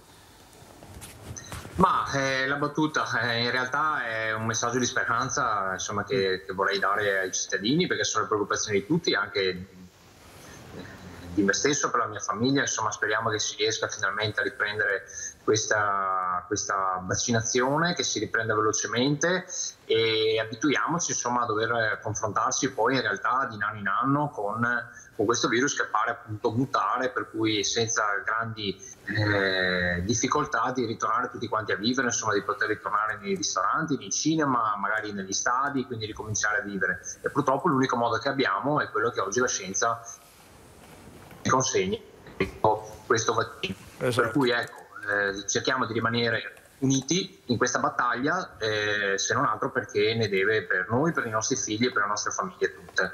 Quindi ecco, un abbraccio a tutte quante le persone che a casa oggettivamente sono in difficoltà e sentono pesantemente sia la paura del virus ma anche del loro futuro. Grazie, grazie a lei Luciani, a presto, buon lavoro Luciani, grazie molte.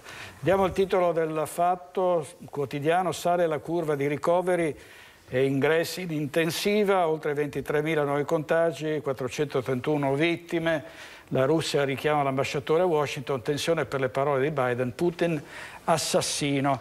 Allora, grazie ad Anna Maria Bigon, consigliere regionale del Partito eh, Democratico, che qualcuno dice, ma insomma c'è finalmente una, una luce in fondo, in fondo, al tunnel, adesso se arrivano i vaccini si, si procederà senza tregue, prima o poi insomma c'è chi dice prima dell'estate 70%, ha detto oggi la, la van der Leyen, ha detto eh, il 70% de, degli europei saranno vaccinati.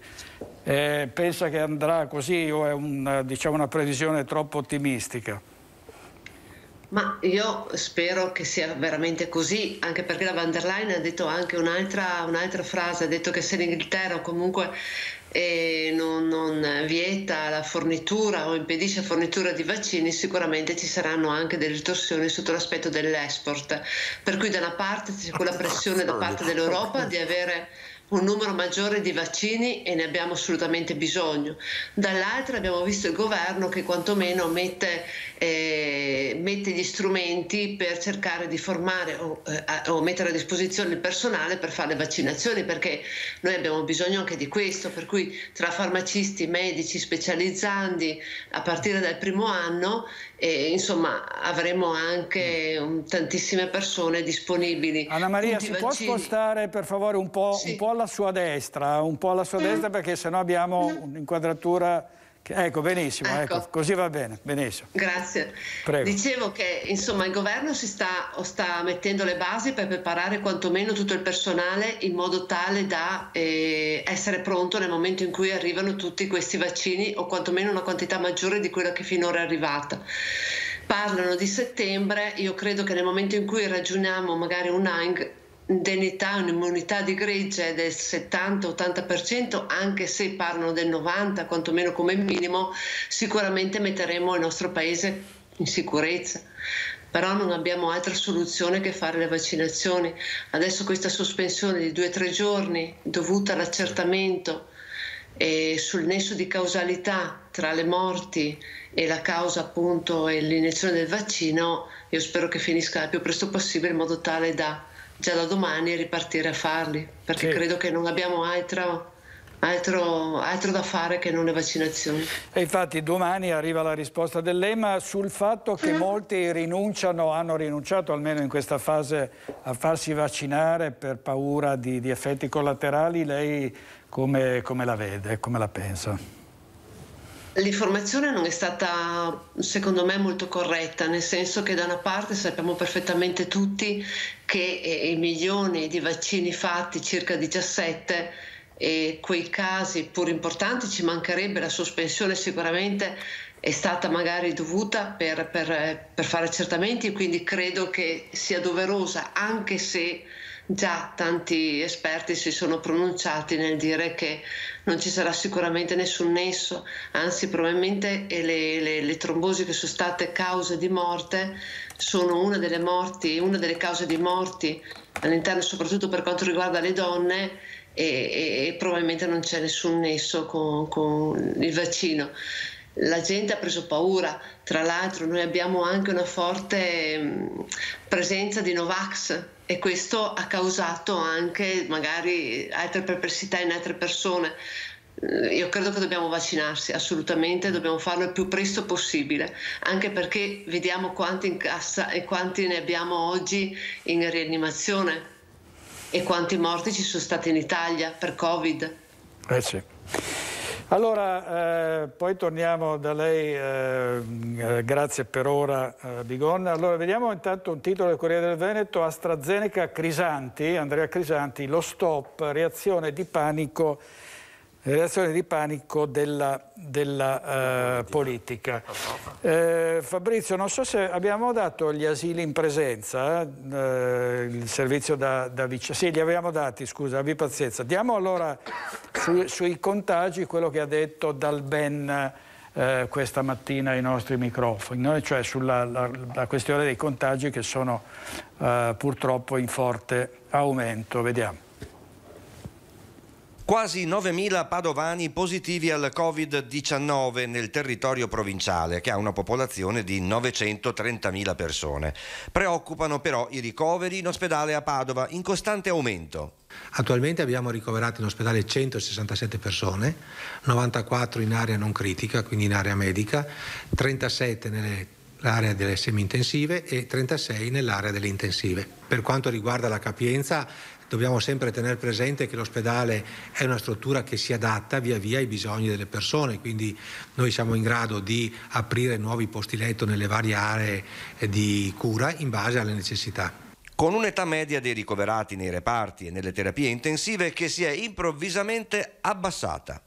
Sono persone che hanno di media tra i 60 e i 70 anni a seconda appunto dell'area della, eh, eh, ospedaliera che occupano e può dipendere dal fatto che eh, per esempio no, tutta la popolazione anziana delle case di riposo è stata vaccinata e quindi non notiamo più il grande anziano presente in ospedale. C'è una spiegazione logica al dato numerico di contagiati in provincia di Padova molto superiore che nelle altre province venete? Dalben dice che l'università sta studiando la causa. Possiamo anche dire o pensare che magari la provincia di Padova è in questa fase un po' più avanti rispetto alle altre province venete e che quindi la speranza è che la curva eh, cali prima delle altre province venete. Ma se dai tamponi eseguiti in azienda emerge un 8% di positivi in linea con la media regionale, perché a Padova stanno aumentando i contagi e i ricoveri in ospedale? È chiaro che i positivi che noi riscontriamo probabilmente hanno dei quadri clinici più pesanti rispetto ad altre zone della regione, in sostanza. Ecco, io penso che sia un po' questo che fa anche un po' la differenza per quanto riguarda la presenza di notevoli persone all'interno del nostro ospedale da ricoverati e ricoverati con quadri importanti. Servizio di Guido Barabato, dobbiamo andare in pubblicità, mi pare tra quanto Fabrizio? Tra un minuto con la pubblicità che spacca il secondo, vediamo, vediamo Draghi Spia su Dago Spia, il sito di Roberto D'Agostino. Draghi Spia, passano i giorni e a Draghi sorge il dubbio che lo stanno prendendo per il sedere.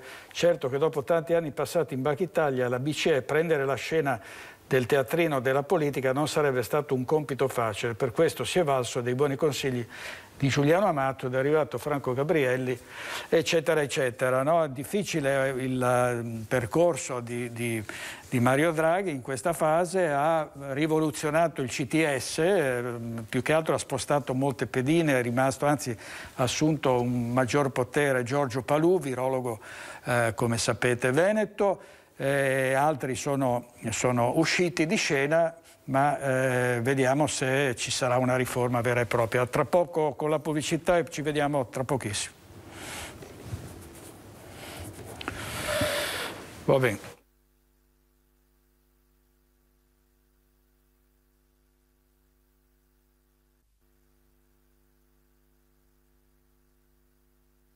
Nuovo in diretta con Focus 2249, grazie ancora a Chiara a Chiara Scipione, all'Anios rappresentata da, da Rita Sala questa sera per avere fatto da interprete dall'inizio della, della, puntata, quindi dando modo ai nostri amici sordi di seguire eh, questo programma.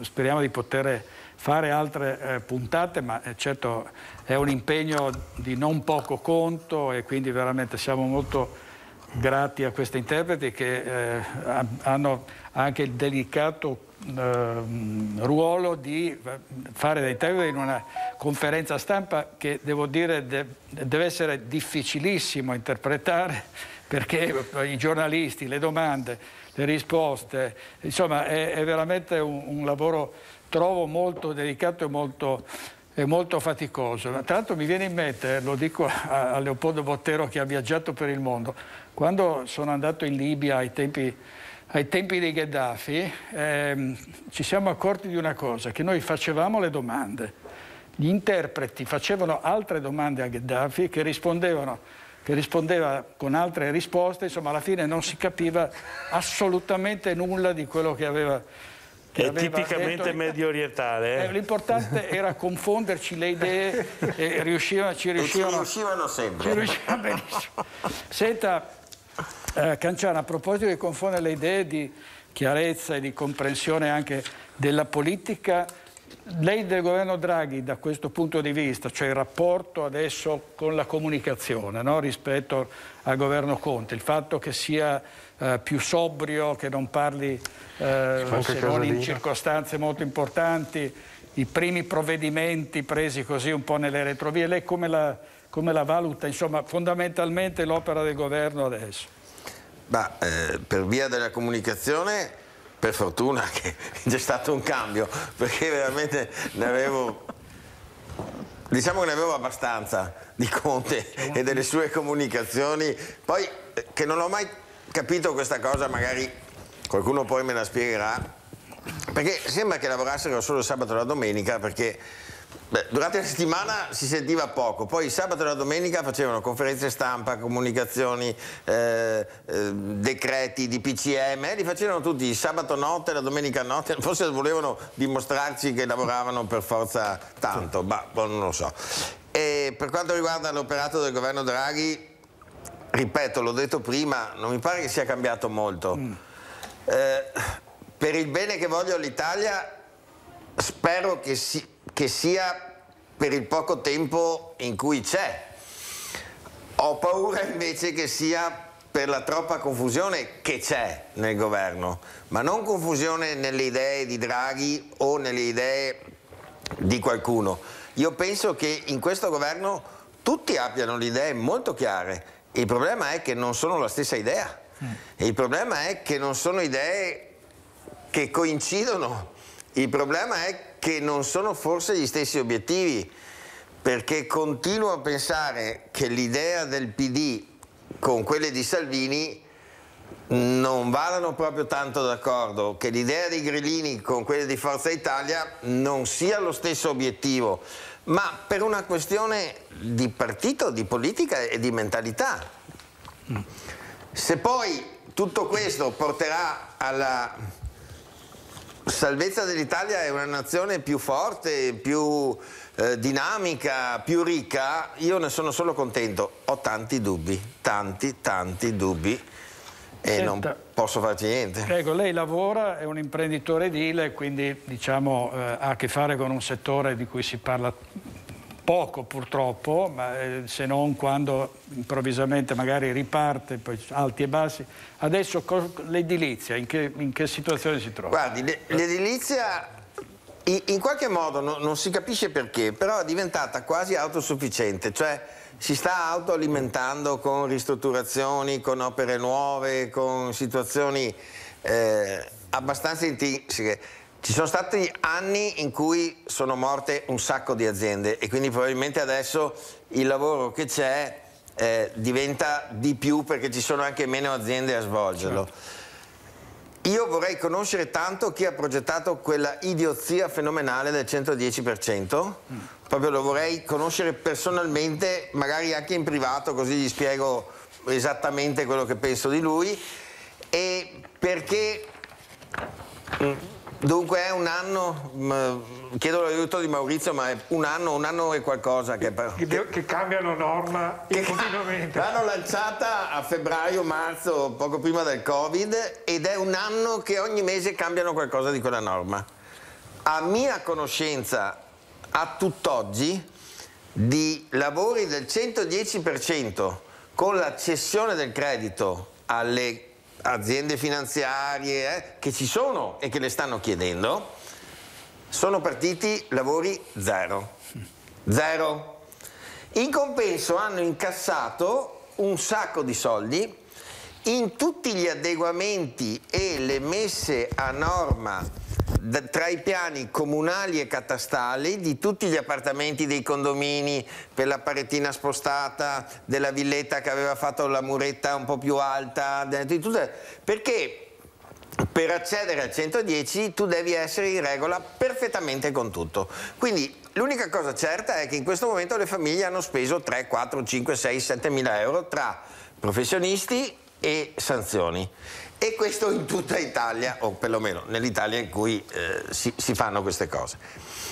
Per poi passare al 110 e quindi avere le opere, in questo momento zero. Io mi chiedo, ma lo faccio proprio così perché sono un deficiente e quindi ogni tanto ho queste idee che mm, mi passano per la testa, ma non era più semplice dire la detrazione fiscale del 65% per il risparmio energetico la portiamo all'85% e la detraiamo in 5 anni? Non era forse più semplice? Non è che si sarebbero aperti molti più cantieri? Non è che... Perché quando hanno annunciato il 110%, due mesi prima avevano annunciato il bonus facciate al 90%. Con l'annuncio del 110% l'unico risultato ottenuto è che hanno bloccato immediatamente tutti i cantieri che stavano facendo il 65% e il 90%. Quindi secondo me solo uno che gioca a flipper, non che fa il ministro, può avere queste idee, però... Adesso torniamo da Maurizio Conte, intanto però vediamo eh, l'ACC la nel Bellunese, eh, una manifestazione dei lavoratori che simbolicamente hanno portato un camion carico di motori fino all'Electrolux di Susegana perché sono due aziende legate ovviamente per competenza e professionalità. Vediamo.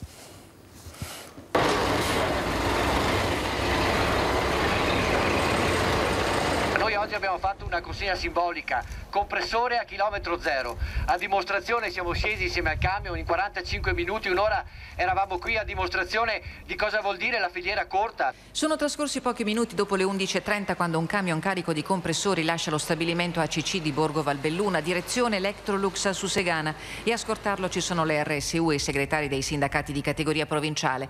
L'ennesima giornata di mobilitazione stavolta con un obiettivo, esaltare il legame non solo territoriale ma di competenza e di professionalità con i lavoratori trevigiani che da decenni fanno parte della storia di ACC.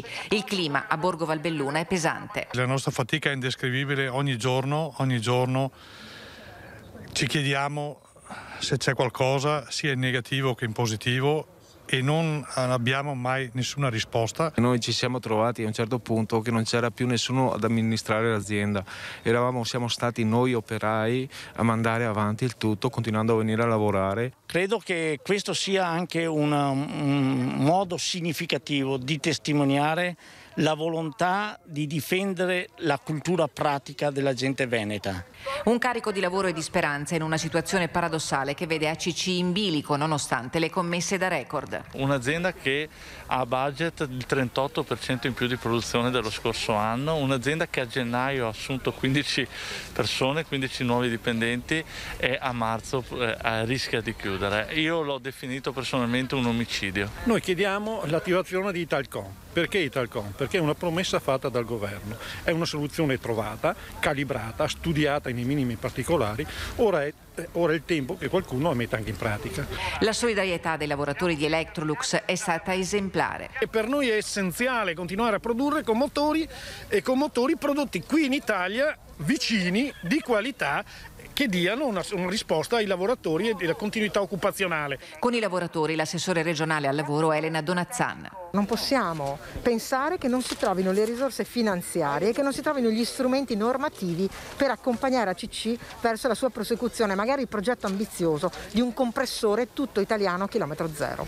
Gli appelli si moltiplicano. Noi chiediamo la ripresa di un intervento pubblico in economia che noi reputiamo eh, necessario, necessario di fronte all'evidenza dei fatti. Da Roma la vicinanza del ministro Federico D'Inca da 15 mesi a fianco dei lavoratori e del progetto Italcomp che rassicura si risolverà a breve. È importantissimo che anche il sistema bancario riconosca eh, gli sforzi fatti dal governo per trovare delle soluzioni importanti in qualche maniera si metta a disposizione perché ogni eh, risorsa, ogni milione di euro sono risorse importantissime per continuare questa progettazione nuova. Ministro Federico Tinca, servizio di Tiziana Bolognani, Maurizio Conte, paradossale perché insomma ci sono gli ordini ma eh, è un'azienda che Beh, può andare avanti ma no. Ma è il rischio che stanno avendo tante aziende eh, italiane, soprattutto anche venete, che vedono molto spesso eh, acquisizioni da parte di multinazionali, società estere, che hanno l'obiettivo solamente di prendere in mano il marchio per poi chiudere le, la produzione, perché questa è l'evidenza di una situazione, siamo ormai un paese da colonizzare sotto l'aspetto economico e produttivo. E quelle eccellenze che abbiamo invece dobbiamo difenderle. Se una attività, se una società, se un'impresa sta andando male, forse è meglio pensare a una riorganizzazione anche di investimento da parte del governo, ma coinvolgendo i dipendenti, perché abbiamo visto molto spesso, soprattutto in Veneto, la possibilità di diventare soci dell'azienda, partecipare alla, a, con una cooperativa di, di operai che lavorano all'interno è forse la maniera più conveniente per salvare un'impresa. Metti di fronte a un'opportunità nuova i dipendenti che possono diventare anche piccoli imprenditori loro stessi, cambiare completamente anche una filosofia di aggregazione interna e diventare un'opportunità. Penso sia questo anche, spero che anche l'assessore Donazzan possa mettere in atto un'azione di questo tipo in maniera forte anche a livello normativo. L'altro aspetto che volevo evidenziare, sì. in questo momento di appunto vaccinazioni, di, di rischio appunto del contagio, cosa abbiamo perso perdendo la leva? perdendo l'obbligo di andare a fare il militare. Non era solo perdere un anno, perché sicuramente magari qualcuno poteva pensarlo in maniera diversa e, e andare a lavorare prima o continuare a studiare senza interrompere gli studi. Ma cosa serviva fare il militare? Innanzitutto avevi un controllo a una certa età di una situazione, di una eh, appunto eh, realtà eh, giovanile che potevi trovare soprattutto delle malattie che adesso te ne accorgi troppo tardi, soprattutto sulla fertilità. Ma io mi ricordo che mi hanno fatto tre punture sul petto, vuol dire che mi hanno vaccinato, che mi hanno comunque temprato e sapevamo tutti che qualcuno aveva la febbre, qualcuno aveva reazioni diverse ma era una maniera per garantire una società che doveva crescere e doveva però anche controllare quelle che erano le fasce di età. E tornavamo a casa uomini. Eh. E, e, e, comunque faceva un'esperienza di un certo tipo anche che non era un anno di, di tempo perso. L'altro aspetto, torniamo all'autonomia. Io spero che Zaia porti la sua conferenza stampa a Roma. Mm vada a Roma, faccia la conferenza stampa a mezzogiorno che serve per dare tutte le informazioni, ma vada là a iniziare veramente a eh, fare una pressione importante sotto l'aspetto dell'autonomia. Perché l'autonomia e, e, e, do ragione a Bottero che, sì, che mi vede, eh, che ha detto prima al di là dell'appartenenza politica, ah, certo, certo. chi è veneto deve pensare appunto di portare a casa per il Veneto, poi chi è lombardo, ognuno porta a casa per il proprio territorio, ma questo è il ruolo che devono avere tutti i rappresentanti politici all'interno delle istituzioni, in particolare i nostri parlamentari veneti che al di là da destra a sinistra, verdi, gialli o rossi, devono capire che c'è necessità di dare una risposta, in prima di tutto a quel referendum che sono passati 1242 giorni, ma soprattutto perché è l'unico sistema per dare responsabilità al territorio, alle regioni, a chi è più vicino ai cittadini per dare delle risposte, che potrebbe essere stata sicuramente anche più facilita aver facilitato di più, ad esempio, anche gli interventi dei nostri sindaci e amministratori locali per dare delle risposte e soprattutto che dovranno dare delle risposte a livello sociale e economico a delle realtà dirette nei propri comuni che hanno bisogno appunto anche di un percorso di accompagnamento. L'autonomia servirà a questo. Io spero che i parlamentari facciano un gruppo eh, trasversale trasversale. Io, io, io, li sfiderei che facesse un gruppo interpa interpa interpartitico che vadano invece a creare quell'intergruppo che deve difendere il Veneto e l'autonomia del Veneto. I parlamentari finora hanno fatto pochissimo, Leopoldo Bottero, tanti scettici come per i vaccini, eh? non so, i Novax, i no, i no, Novax io ho piacere eh? perché meno ce ne sono, prima lo fanno a me, guarda.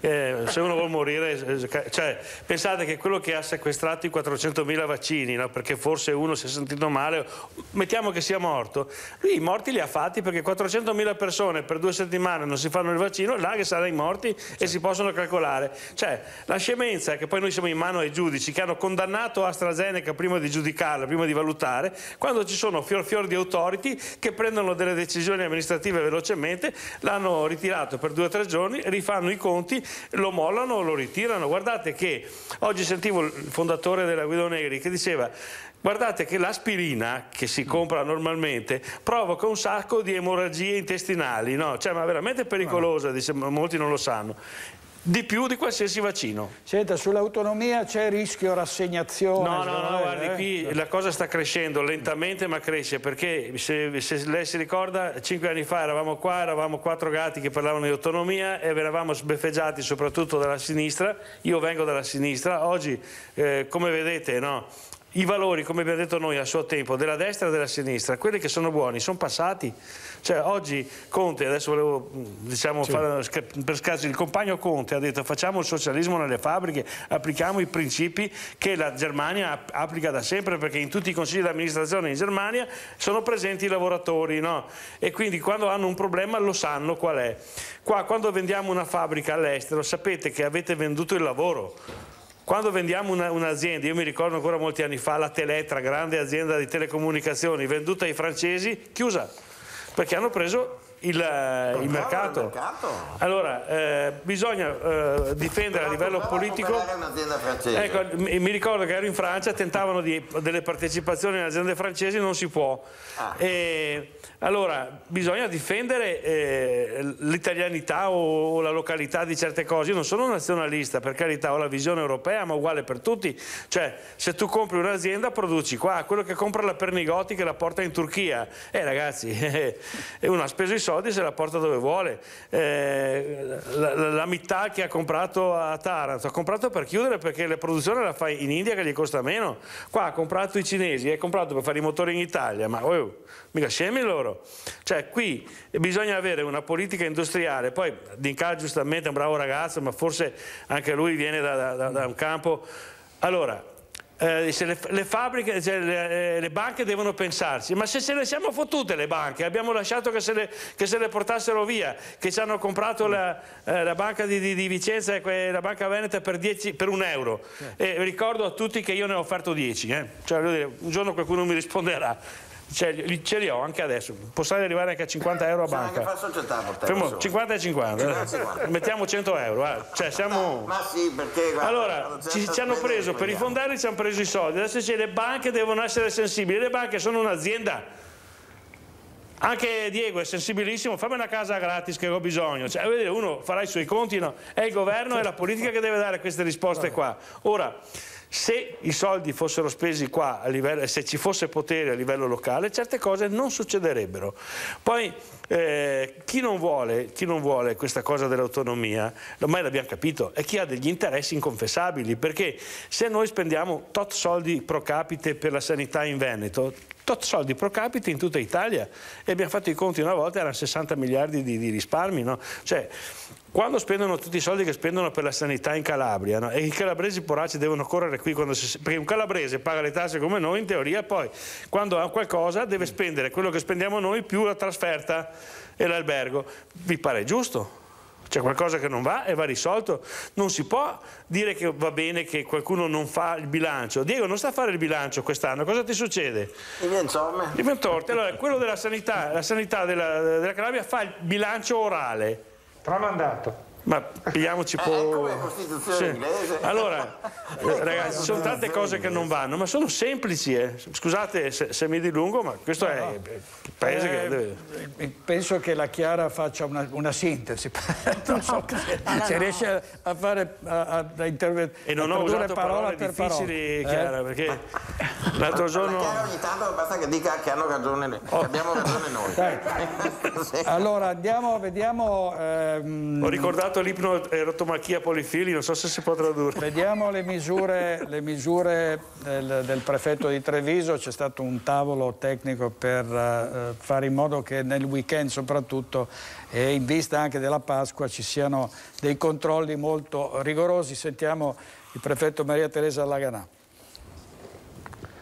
Ci preoccupa molto il fatto che eh, essendo tutti bloccate, se- se- essendo, essendo sospese tutte le attività, proprio in quei giorni ci possa essere una sorta di fuga verso i luoghi diciamo, di deputati, alle passeggiate e a quant'altro. Abbiamo ribadito la necessità che vengano intensificati i controlli, che peraltro ci sono già, vengono rimodulati in relazione appunto a quelli che sono i divieti, in particolare i divieti che scatteranno anche nei giorni eh, di Pasqua e di Pasquetta.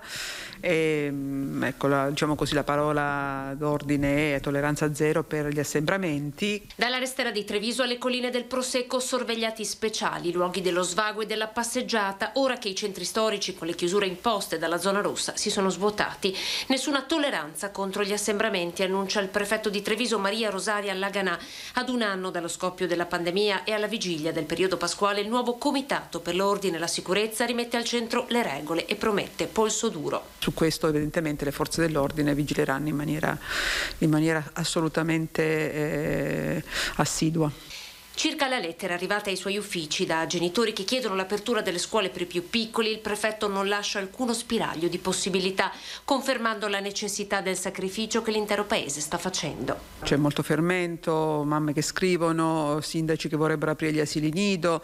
Ecco, l'anno scorso ricordo che eravamo tutti compatti contro il nemico e alcune fughe in avanti che si cerca di fare anche nel mondo della scuola, eh, specialmente degli asili e quant'altro, non si possono evidentemente eh, accettare. I ragazzi che già soffrono certamente del periodo bisognerebbe anche, come dire, dare la sensazione di un sacrificio necessario. Nel pomeriggio in prefettura si è tenuto l'incontro con i vertici del trasporto pubblico e le scuole trevigiane per rimettere sul tavolo orari di laboratori che sono ancora in presenza e corse in un'ottica di un maggiore efficientamento del servizio. Servizio di Anna De Roberto. Allora torniamo da Anna Maria Vigon, in Consiglio regionale per il Partito Democratico.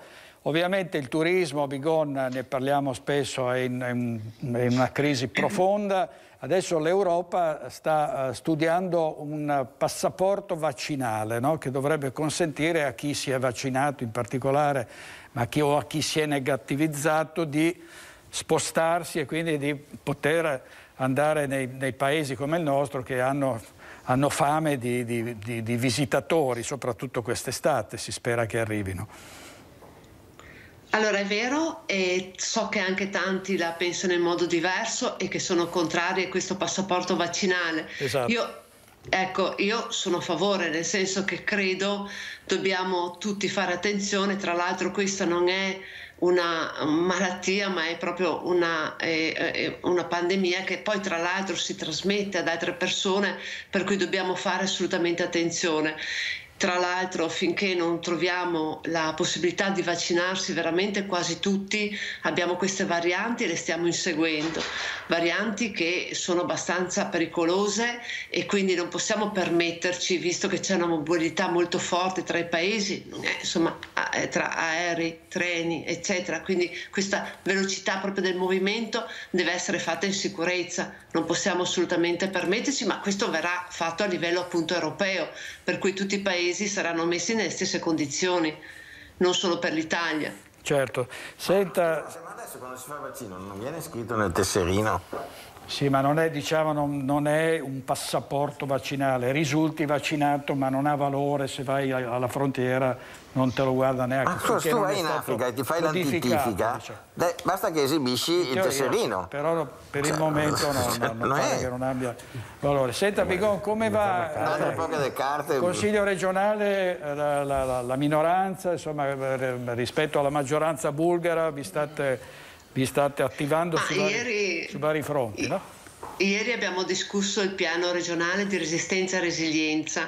Sì. Abbiamo fatto alla fine, poi tra l'altro approvato una risoluzione insieme, la maggioranza ha approvato anche la nostra con qualche modifica, dove cerchiamo insieme a quello che loro avevano presentato di portare a Roma tutti quelli che potranno essere le progettazioni validi per ottenere dei, dei fondi, quei fondi europei di cui stiamo veramente attendendo con molta forza eh, che arrivino anche in Veneto. Noi ne abbiamo assolutamente la necessità, sentivo prima tutte le crisi che abbiamo per l'economia, turismo, economia, ma anche riformare la sanità, sanità di territorio, quindi tutte somme che saranno veramente necessarie e le progettazioni che verranno presentate dovranno essere in linea con gli indirizzi dell'Europa e ovviamente l'indirizzo del Piano Nazionale di Resistenza e Resilienza. E, e quindi tutelare l'ambiente, investire per i prossimi anni per quanto riguarda appunto non solo una transizione verde ma anche demografica perché in Veneto abbiamo anche un problema che è enorme che è quello della denatalità per cui dovremo puntare sui servizi, asili nido, scuole materne, scuole elementari, ristrutturazione, una sanità ovviamente del futuro pubblica per quanto riguarda l'ammodernamento delle strutture e poi tutto quello che riguarda aria, acqua, tutela dell'inquinamento, abbassamento del PM10 e quindi insomma tutela dell'ambiente in genere e trasporto soprattutto su ferro.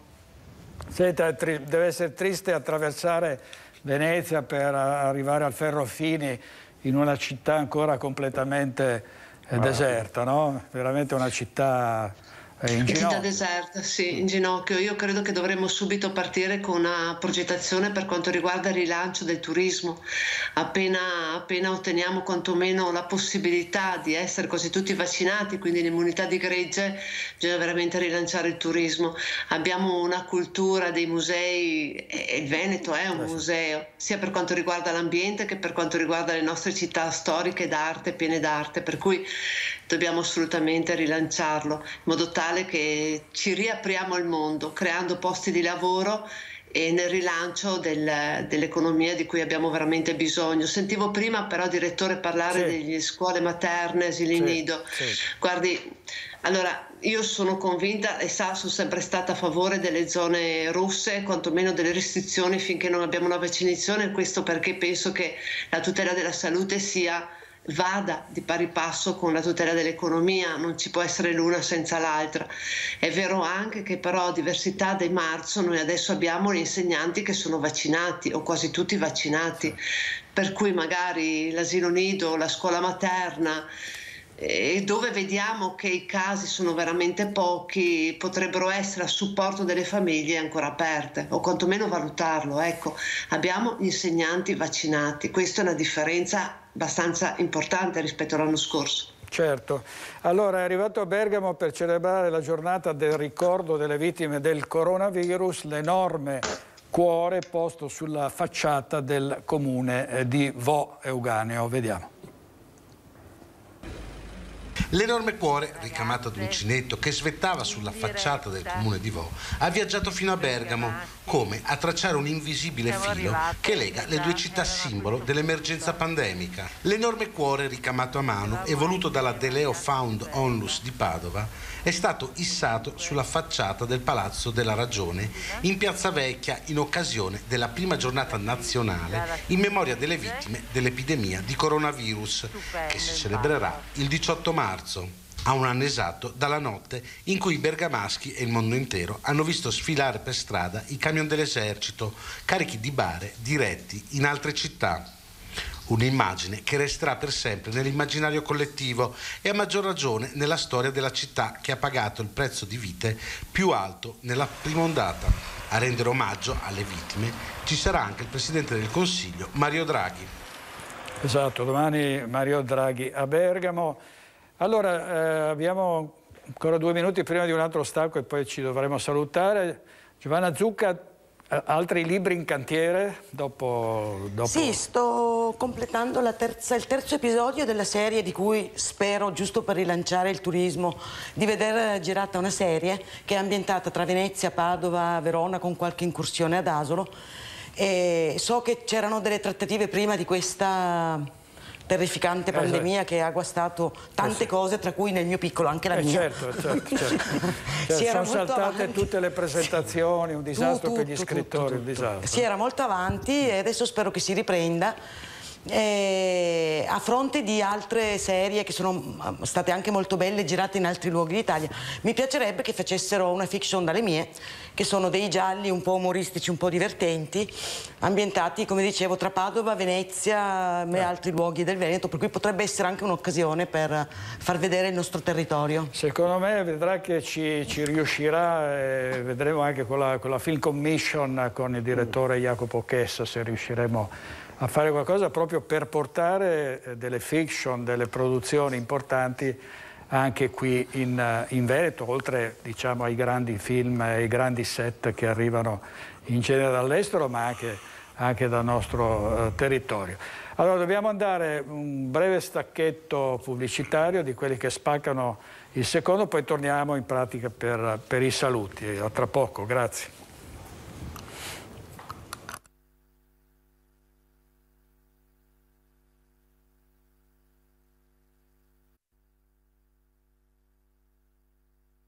Allora di nuovo in diretta siamo agli sgoccioli ormai, grazie per centinaia di sms, whatsapp che avete mandato come sempre, tutta la puntata tradotta da Chiara Scipione, davvero un, la, la, la, ringraziamo molto, ringraziamo eh, la rappresentante dell'Agnos, l'autoressa Rita Sala che è docente docente di, di, di Cultura sorda, no no, cultura dei sordi all'Università di Ca' Foscari di Venezia e nei corsi interpreti di formatrice. Ecco, senta, ehm, eh, c'è, la, la, formazione di cui lei parlava, insomma, no? come, sì. come la si può in qualche modo però incentivare, aumentare?